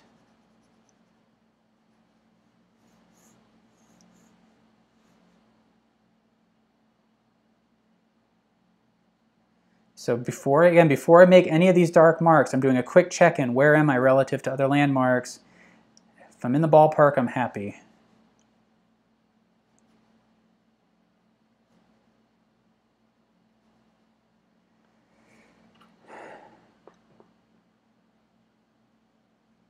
Terry from uh, Pemaquid. Yeah, I again, it's one of my favorite places in all of Maine. I grew up not far from there, a town called Bath.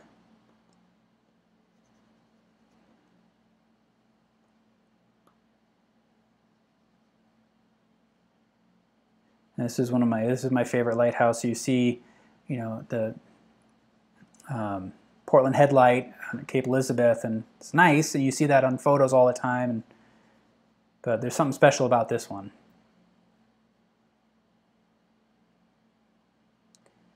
Okay, there's this little rock over here. This provides a little bit of focus, and it's right under here. Again, if I can get in the ballpark, I'm happy. I'm not going to labor it too much. Um, what's more important to me is I get the basic structure of light and shadow in here. And I'm going to keep building in some of the dark areas before I start to erase out the highlights. And I think that's also going to help to pull us into the scene, creating, uh, you know, having the, more light back there. You can see I have a little bit of light striking this rock in here. And that's a little bit strong.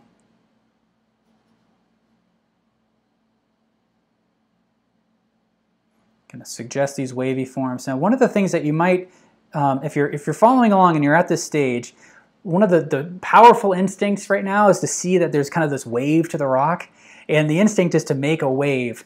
Um, and you, it's at least that's for me, and I have to kind of fight that and really intentionally make that irregular. Because there, and I've talked a bit about that before in the series, is that we have a tendency to want to, to create structure and regularity in these forms. Um, you know, we'll we'll, we'll draw fence post perfectly even rather than a, than um, have some variety there. or Place trees perfectly even um, when they may not be. Uh, so there's a there is that natural tendency. Um, so if if you're if you're paying attention to the rhythm, try to vary up the vary the rhythm of your marks and not get sucked into the idea of creating like these irregular these regularly shaped waves in the rocks.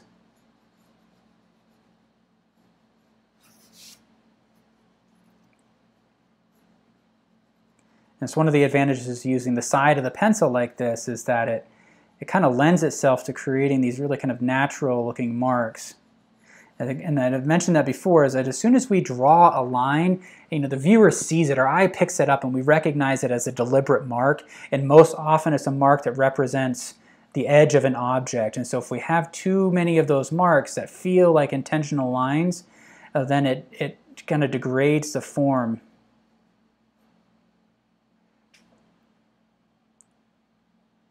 All right, Pat. We'll see you later. Thanks for watching. Um, Getting some good feedback here. Thank you all. Uh, the, Joe, you're asking what pencil? This is an ebony pencil. Um, and I, I kind of prefer that. I, I don't like to switch kind of midstream, so I don't use um, the, the pencil sets that come in, you know, 4H, 2H, HB, you know, 4B, etc. Um, I just it, it doesn't work for me to, intentionally switch and be in control of those, so I don't. So I what I do is I have you know one pencil and I try to make it do everything. so, so that's what I'm using, and, and I like the ebony pencil because it allows me to get dark, and if I'm gentle with it, I can create these lighter marks. All right, so What am I doing now? Let's see. Let's see how the sanded eraser does. So there's there are certain areas here where the light's hitting the rocks a little bit more. There's one kind of across the kind of the table of this rock. And I want to try to see that form. I'm just dragging across, kind of pulling the light out there. So doing a little bit of now negative drawing.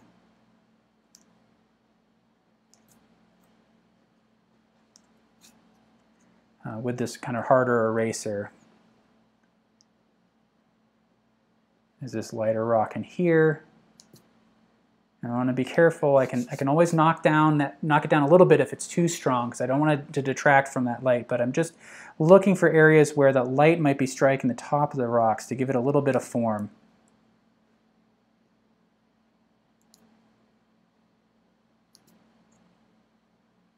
Anybody else from Maine want to that's watching.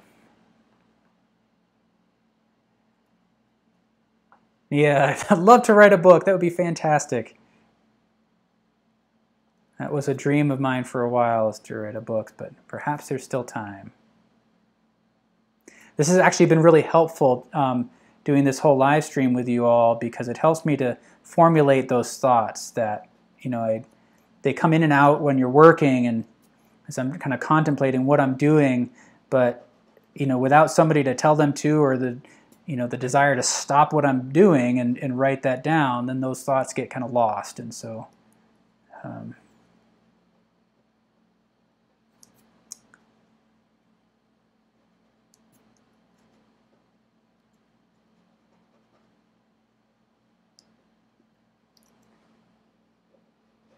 So I'm just kind of doing some negative drawing with this eraser right now. This is that sanded eraser that I feel like is really an interesting tool.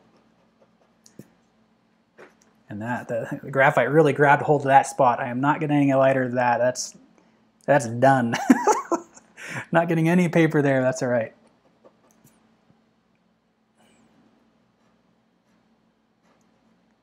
So now I can use that eraser again. I'm manipulating it, trying to think about the structure of the rock.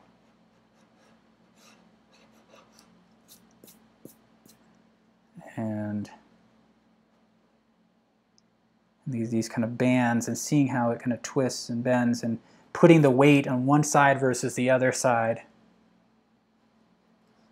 It's one of the cool things about you know the, the coast of Maine is that it was formed by all those geologic processes and the last ice age as the glaciers retreated they just kind of carved away exposing the bedrock in these areas and you get these really cool formations and that's what makes that coast so jagged and unique. And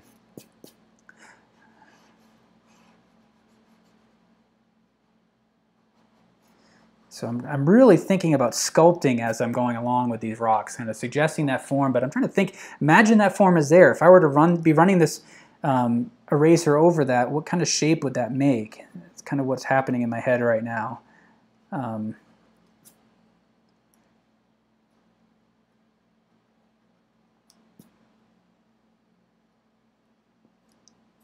all right, let's see.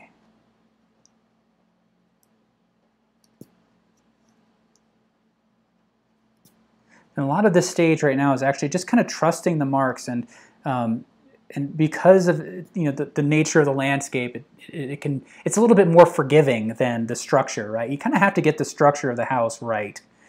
Um, the structure of the lighthouse, everything, it's all got to be correct for that, or otherwise it's going to stand out. With the landscape, it's a little bit more forgiving, which I love because then I can just get into the materials um, and allow the materials to just do what they do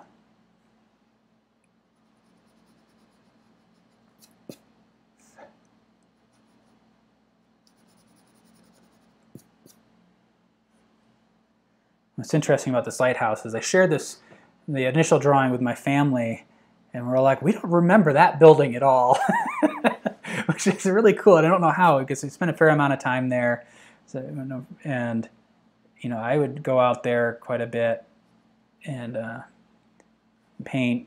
And I just, yeah, I don't remember that at all. But it's been a long time.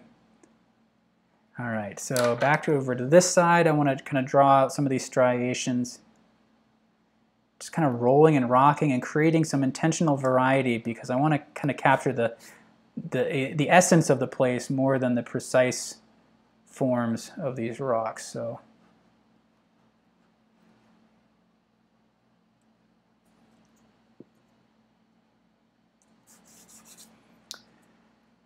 All right, here we go. Getting, we're getting there.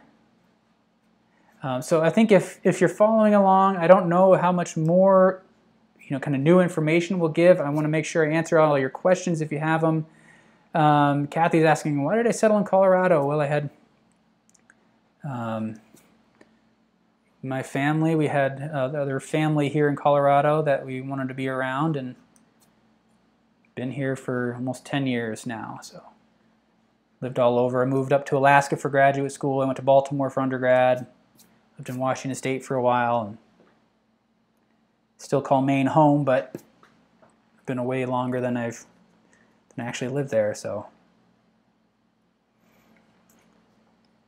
um, uh, JC, you're saying your graphite powder is not really lifting. Yeah, it's funny. It's happened on this paper too. You know, there's certain areas where it's just not coming up. um, it worked, you know, pretty well on this Canson paper that I have. Um, so I would say experiment with it um, and keep going. And this may not be the process that works for you, but I felt like it was uh, kind of a fun one to kind of uh, kind of throw out there, you know, challenge ourselves a bit. Um, and again, I, it, for me, it helped to create that sense of light and atmosphere there. Uh, I, so I'm going to keep going. It's interesting seeing that first one. I, I kind of like the proportions of this one a little bit better, which is which is generally a good thing. But I want I feel like I need a little bit more definition into this area. So encountering this drawing, it feels incomplete, and I don't want that. So there again, this is part of that trying to find that balance between. Um, you know, adding kind of dialing back the detail here so that it pulls us into the lighthouse, but you have to have enough to uh, to engage the, the viewer. Got to get something to, to for mind to kind of latch onto. Um, uh, all right, glad you like this. Joseph uh, asking more about architecture. So that's kind of part of this. Um, the next couple weeks, I'm doing this scene. Next week, I'm, or next Wednesday, I'm doing, or this Wednesday, I'm doing fabric. And then next week, we're going to go back to a building, a grain house that's just in town here um, that I think is really cool is storage grain storage facility. So we're going to be trying that out. Um, and so we'll be doing more architecture. I also want to get um, I want to get back into some figurative work, so we'll be doing some more figure work as well. Got another still life coming up.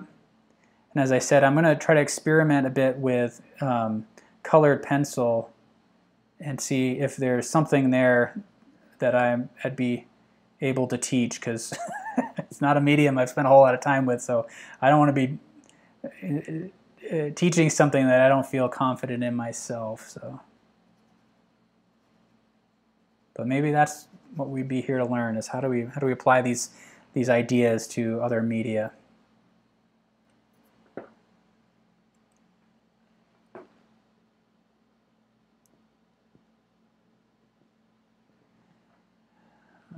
See. I like this little mono eraser. I've never had never used it before, and it's really cool to kind of come across.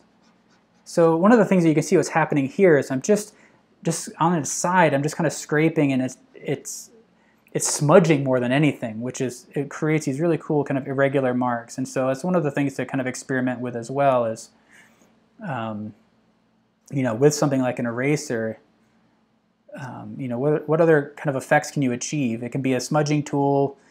It can, of course, correct mistakes. It can, um, you know, can be a blending tool.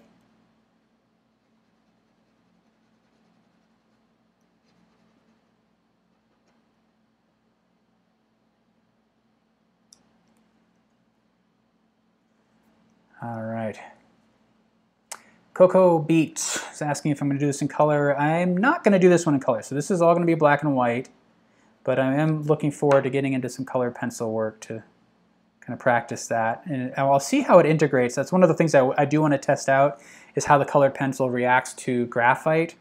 Um, or if it, you know, if they blend or if they just get muddy or what. So now I'm just going through adding a little bit of detail and I see some of these areas where I'm off and that's all right. So now what I'm doing is I'm, rather than reacting to the photograph, I'm going, I'm kind of reacting to the structure of the rocks that I'm seeing in here. So even though they're not correct, you know, given the, what I'm seeing in the reference, um, now I want it to read as being correct. So I'm making some adjustments. And,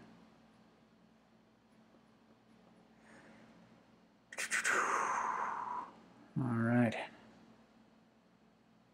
Yeah, all right. I, am seeing your comment about the colored pencil. Chinoa Merck says Scott is not good. Awesome. Um, well, we'll see how that colored pencil goes. I'm not making any guarantees, but we'll uh, give that a shot.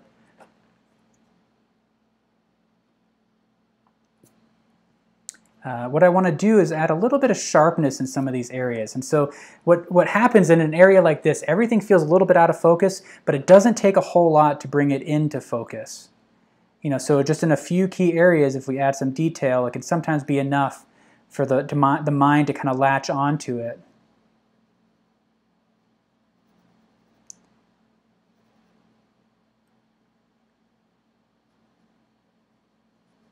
So in a few areas, I just want to add a little bit of kind of a sharper edge, suggestion of detail.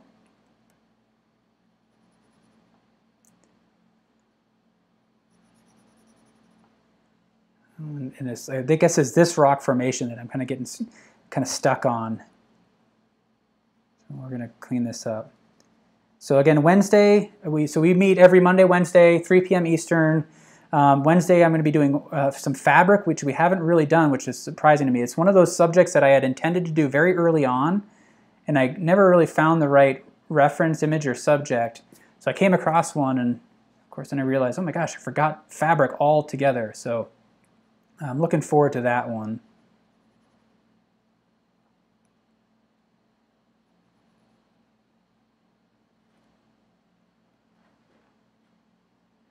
Uh, Kobe, is there any concern with lead? Uh, well, we, this, so with with lead for sure, we never want to be working with actual lead. Um, so this is graphite, and as far as I know, there are no issues working with graphite specifically. But we do want to be careful with all art materials. You know, the skin is porous, um, and it will absorb things. And it's something that I I neglect far too often when I'm painting. I just get into it, and then uh, get paint everywhere, and and that could really come back back to bite me. I need to have some sort of barrier cream or hand, uh, gloves or something to protect my um, protect those chemicals from entering the bloodstream. So I just right now I'm just adding a little bit of detail um, and suggestions of those striations. one of the things to be thinking about too is that this is kind of a plane across here. So as we move across here, we're kind of shearing across that surface, so everything gets kind of squished together. As we come across, it becomes more open. Uh, and so um, it, as, as I go across, I'm, I'm not thinking too much about matching the details one to one. I want to get the basic structure right. I want to get that flow right. Um, and then, and hopefully then it'll read as, you know, as effectively as rocks.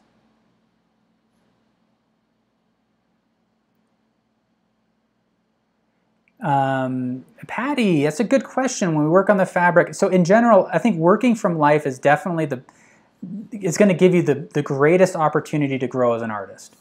Um, now, part of the series is difficult. I, I, I can't practically work from life um, while recording this. Um, and so, um, as a result, we have photos, and I'll be providing a photo for that. Um, just like in this one here, there's a photo in the description. So, um, you won't need to have it. You can follow along with me using the photo I have. But like I said, the greatest opportunity for you to grow is going to be when working from life. So um, if you're up, up to the challenge, you could try to set up your own uh, kind of still life.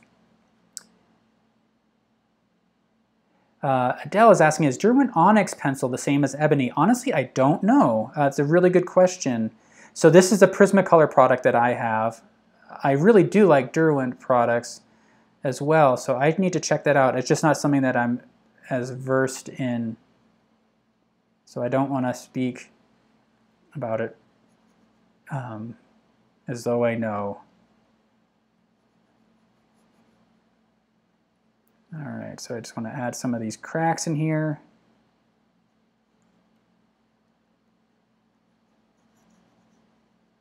Um, The chimneys! Rosalie just pointed that out. You're right. I forgot all about the chimneys. Uh, thank you for pointing that out. Uh, I, you know what's funny about that? I'm laughing because when I was working on this area, I gave myself that mental note to add the chimneys, and I'm like, oh, I got to come back to it, and I got all distracted. so thank you. Uh, that'll help to kind of finish off the drawing. All right, so there is this chimney right in here. And then, the, the, so the, the challenge I need to give myself is I, am doing some quick check-ins. I'm looking at the negative space, looking at the positive space, looking at how big it is, where it is, because I know that as I focus on it, there's going to be a tendency to want to make it bigger than it actually is. It's just the nature of focus.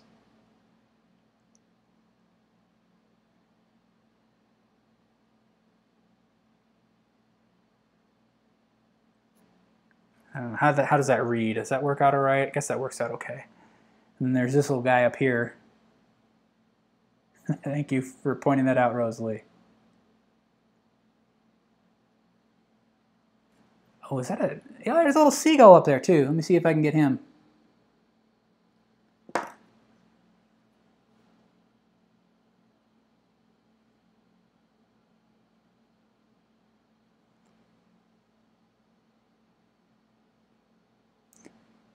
There's this little antenna. Did I get those too? Oh, and then there's this, uh, looks like one of those things you pay a quarter, little telescope things. You drop that on there.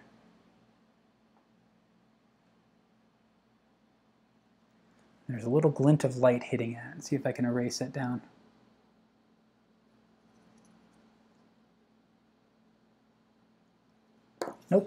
Not gonna, it's not releasing that at all.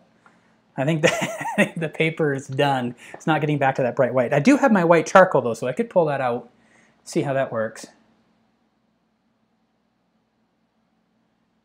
Um, what do we see? Anybody else see anything missing?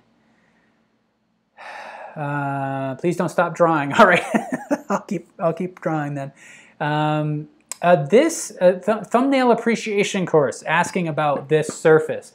This is a, a best easel, uh, so the company is best, and I believe this is the Soho easel, so it'll lay down flat and it can go vertical. So I, I, I really like it. I have it pitched at about a 15 degree angle, or so 15 degrees from, from horizontal. Um, and then I just have a just a just a hard surface that kind of wedged down here on the uh, on the easel. Let's see. Thank you, Carol, for all your work today monitoring the thread. It looks like we had some some fun comments for you to be monitoring. I think we're going to be ending up soon, Carol. So if you have to go, hopefully you're listening. So everybody, thank Carol and the company, hoping to keep the peace. Um, and as as you may have kind of gleaned from Rosalie's comments, I do welcome comments from everybody. So if you see something I'm missing, something that's off, or if there's an area that you'd like me to continue to work on or have questions about, let me know. Um, uh, Chenoa Merks, yes, I could do a lake, absolutely. Um,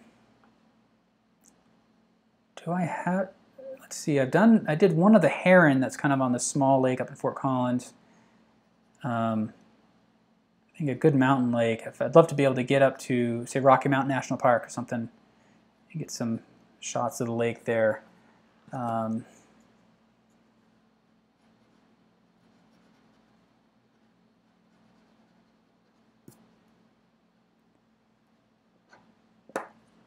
let's see, what am I doing? Okay, I think I want to add a little bit more kind of sharpness up in this rock.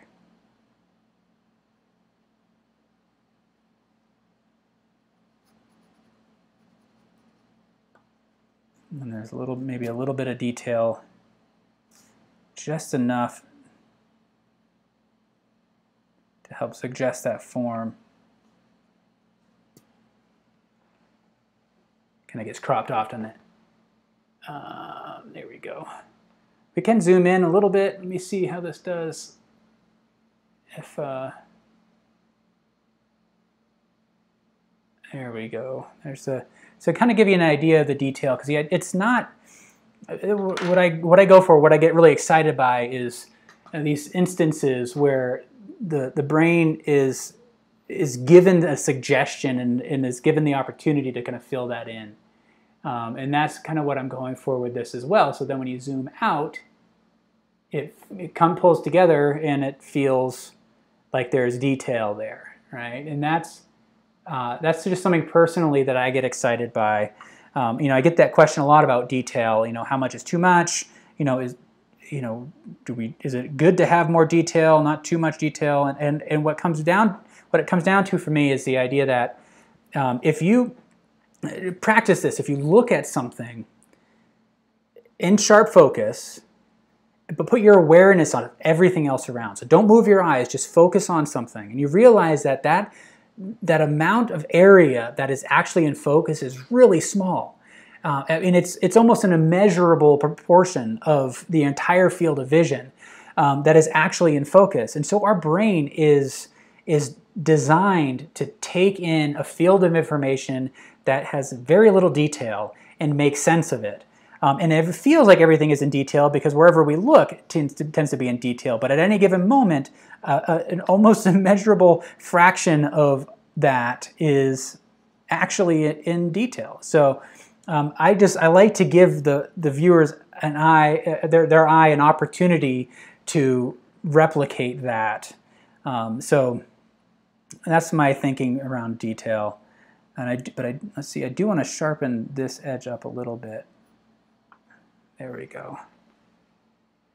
Uh, how's that feel? I feel like that works out all right. Um, it's got some drama to it, not quite as intense, that contrast, and I think uh, because I kind of perhaps pulled out the sky a little bit too much, but it feels unified, it feels like it's got a sense of light. Um, I think I can probably even wash this out a little bit more give it a little bit more of a shadow and increase that shadow shape. But I feel overall we did a good job. Um, uh, a cityscape. I think a cityscape would be great as well. Uh, you know, am I even an artist? Well, I um, I don't sell a lot of my work. Uh, I prefer to make my money other ways, and I painting to me is the thing that I do and I love the most. But I don't know. Guess I'm an artist.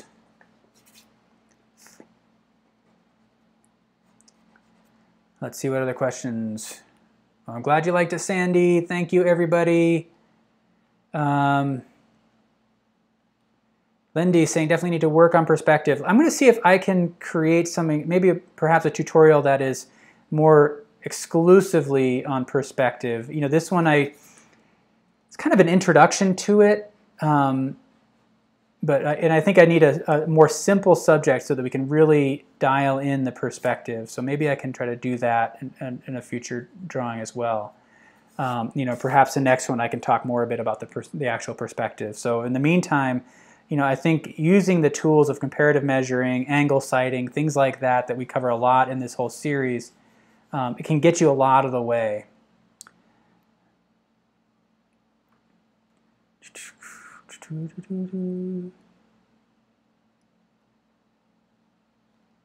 All right, Valerie, I'm glad that you were inspired to try this. Oh, JC, what happened to the guitar? The guitar's upstairs. I moved um, throughout the duration of this whole series. Um, and so I still have the guitar, but that was at my old apartment. Now I'm my new place here in Colorado. So um, I don't play it as much as I should. But okay. Yes, the red chimney, the other chimney. I missed this whole chimney altogether. Holy smokes! It's kind of I kind of placed it right behind the tree, didn't I? Placed the tree right in the wrong spot. Let me drop that in there. Good eye. Good eye. Is that enough to suggest that? That didn't really do much. See, I placed that, that, that spruce tree right there, right where that chimney should go. Oh well. All right, now let's see. I'm just, right now, I'm just kind of, uh, know, I live here in Colorado, just moved out of Fort Collins, that just north of Longmont is where I'm at. Colorado's great, but How do I clean off the eraser? It's a good question. As you can see, this one's really starting to build up. So I'm just using my kneaded eraser to kind of pull off as much as I can. And then I'll just use a either a piece of sandpaper or a, a, a scrap piece of paper and I'll just kind of clean it off that way. I'll just rub it on a clean piece of paper. Oh, that's a good question about a foreign scene like Jerusalem. That would be great. That's a good idea. I've never really tried drawing a scene place that I hadn't been to you know, some of this in the series I've used um, reference photos. Like this is a reference photo that I didn't take. I got it off Pixabay, but it's a place that I've been to and I've I've painted this location before. Um, but I've never really drawn a scene place that I place that I hadn't been to. So it's a really good idea. I'll keep an eye out. Jerusalem sounds like an awesome place to try out. Um, Joseph is asking, so my asking about how I make a living. So I work for Artist Network. I'm the, the producer for videos. Um, so we work with artists when generally when we're not in COVID times. I find artists and we work with them to film instructional videos for them and manage that department. Um, and then of course I do this as well. And I've sold a few things here and there, but um, whatever this seems to be working, but I'd love to be able to sell more. I'll get there. Um, I did a, uh, a podcast with Mike Henley. Um, uh, it a Drawing Inspirations podcast, so you might check that out. And I talk a bit more about my philosophy on drawing, art making, things like that. Shout out to Mike if you're watching. All right, Nia, excited about the the perspective one. I'll have to work on that one. And then, yeah, mostly kind of teaching, and mostly video. I used to teach, uh, I taught for years um, in uh, at, community colleges and, and teaching online. I taught for the Art Institute of Pittsburgh for a long time, so teaching online. That was an interesting experience. Um, and I, but I really missed, really missed teaching. I don't do it as much. This is really my opportunity to do that.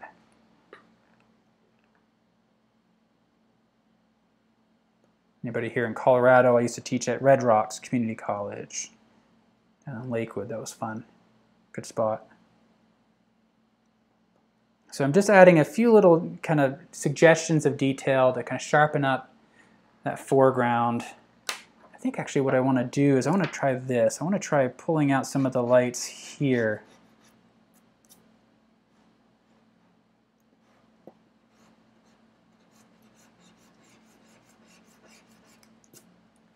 Really kind of force those lines there. So I'm thinking about radiating those lines out from the, that center.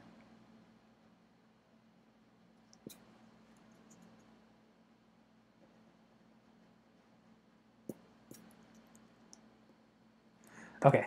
Um, all right, I think that's it. Thank you all for sticking around for so long. I keep saying that, and I find stuff to do. Um, but I'm gonna, I think I'm gonna actually call it a day. I appreciate it. This has been a really fun one. I really hope that you take the chance to, to complete this one yourself. I know it's a bit intimidating, um, but take your time, be patient with yourself, and you may not want to adopt the approach that I used, kind of toning the paper first. And if you tried it, thank you for giving that a shot. Um, you know, try it maybe with a few different pieces, of, uh, types of paper, see what works for you. Um, but it was uh, again, it's just it's always fun being with you. Thank you uh, being here with you. Join me again Wednesday, 3 p.m. Eastern, and don't forget to share your work at Artist Network. So if you go to artistnetwork.com, you go to the Drawing Together page, you'll find links to all the show pages where people have been sharing their work, and it's been awesome. I think we passed the 200 uh, drawing mark. You know, people I've had over 200 drawings posted in that um, in, in those various pages, and that's awesome to see all of that work from a lot of you. Um, so thank you all for doing that. We also see you know people posting on the Facebook pages. So subscribe here to, our, to YouTube. Um, you'll get notifications about the next ones that come up. Um, so thank you, Gene. I'm glad that that worked toning for it. Glad you liked the lighting, Jessica. Thank you for all the good comments, and I will see you all on Wednesday.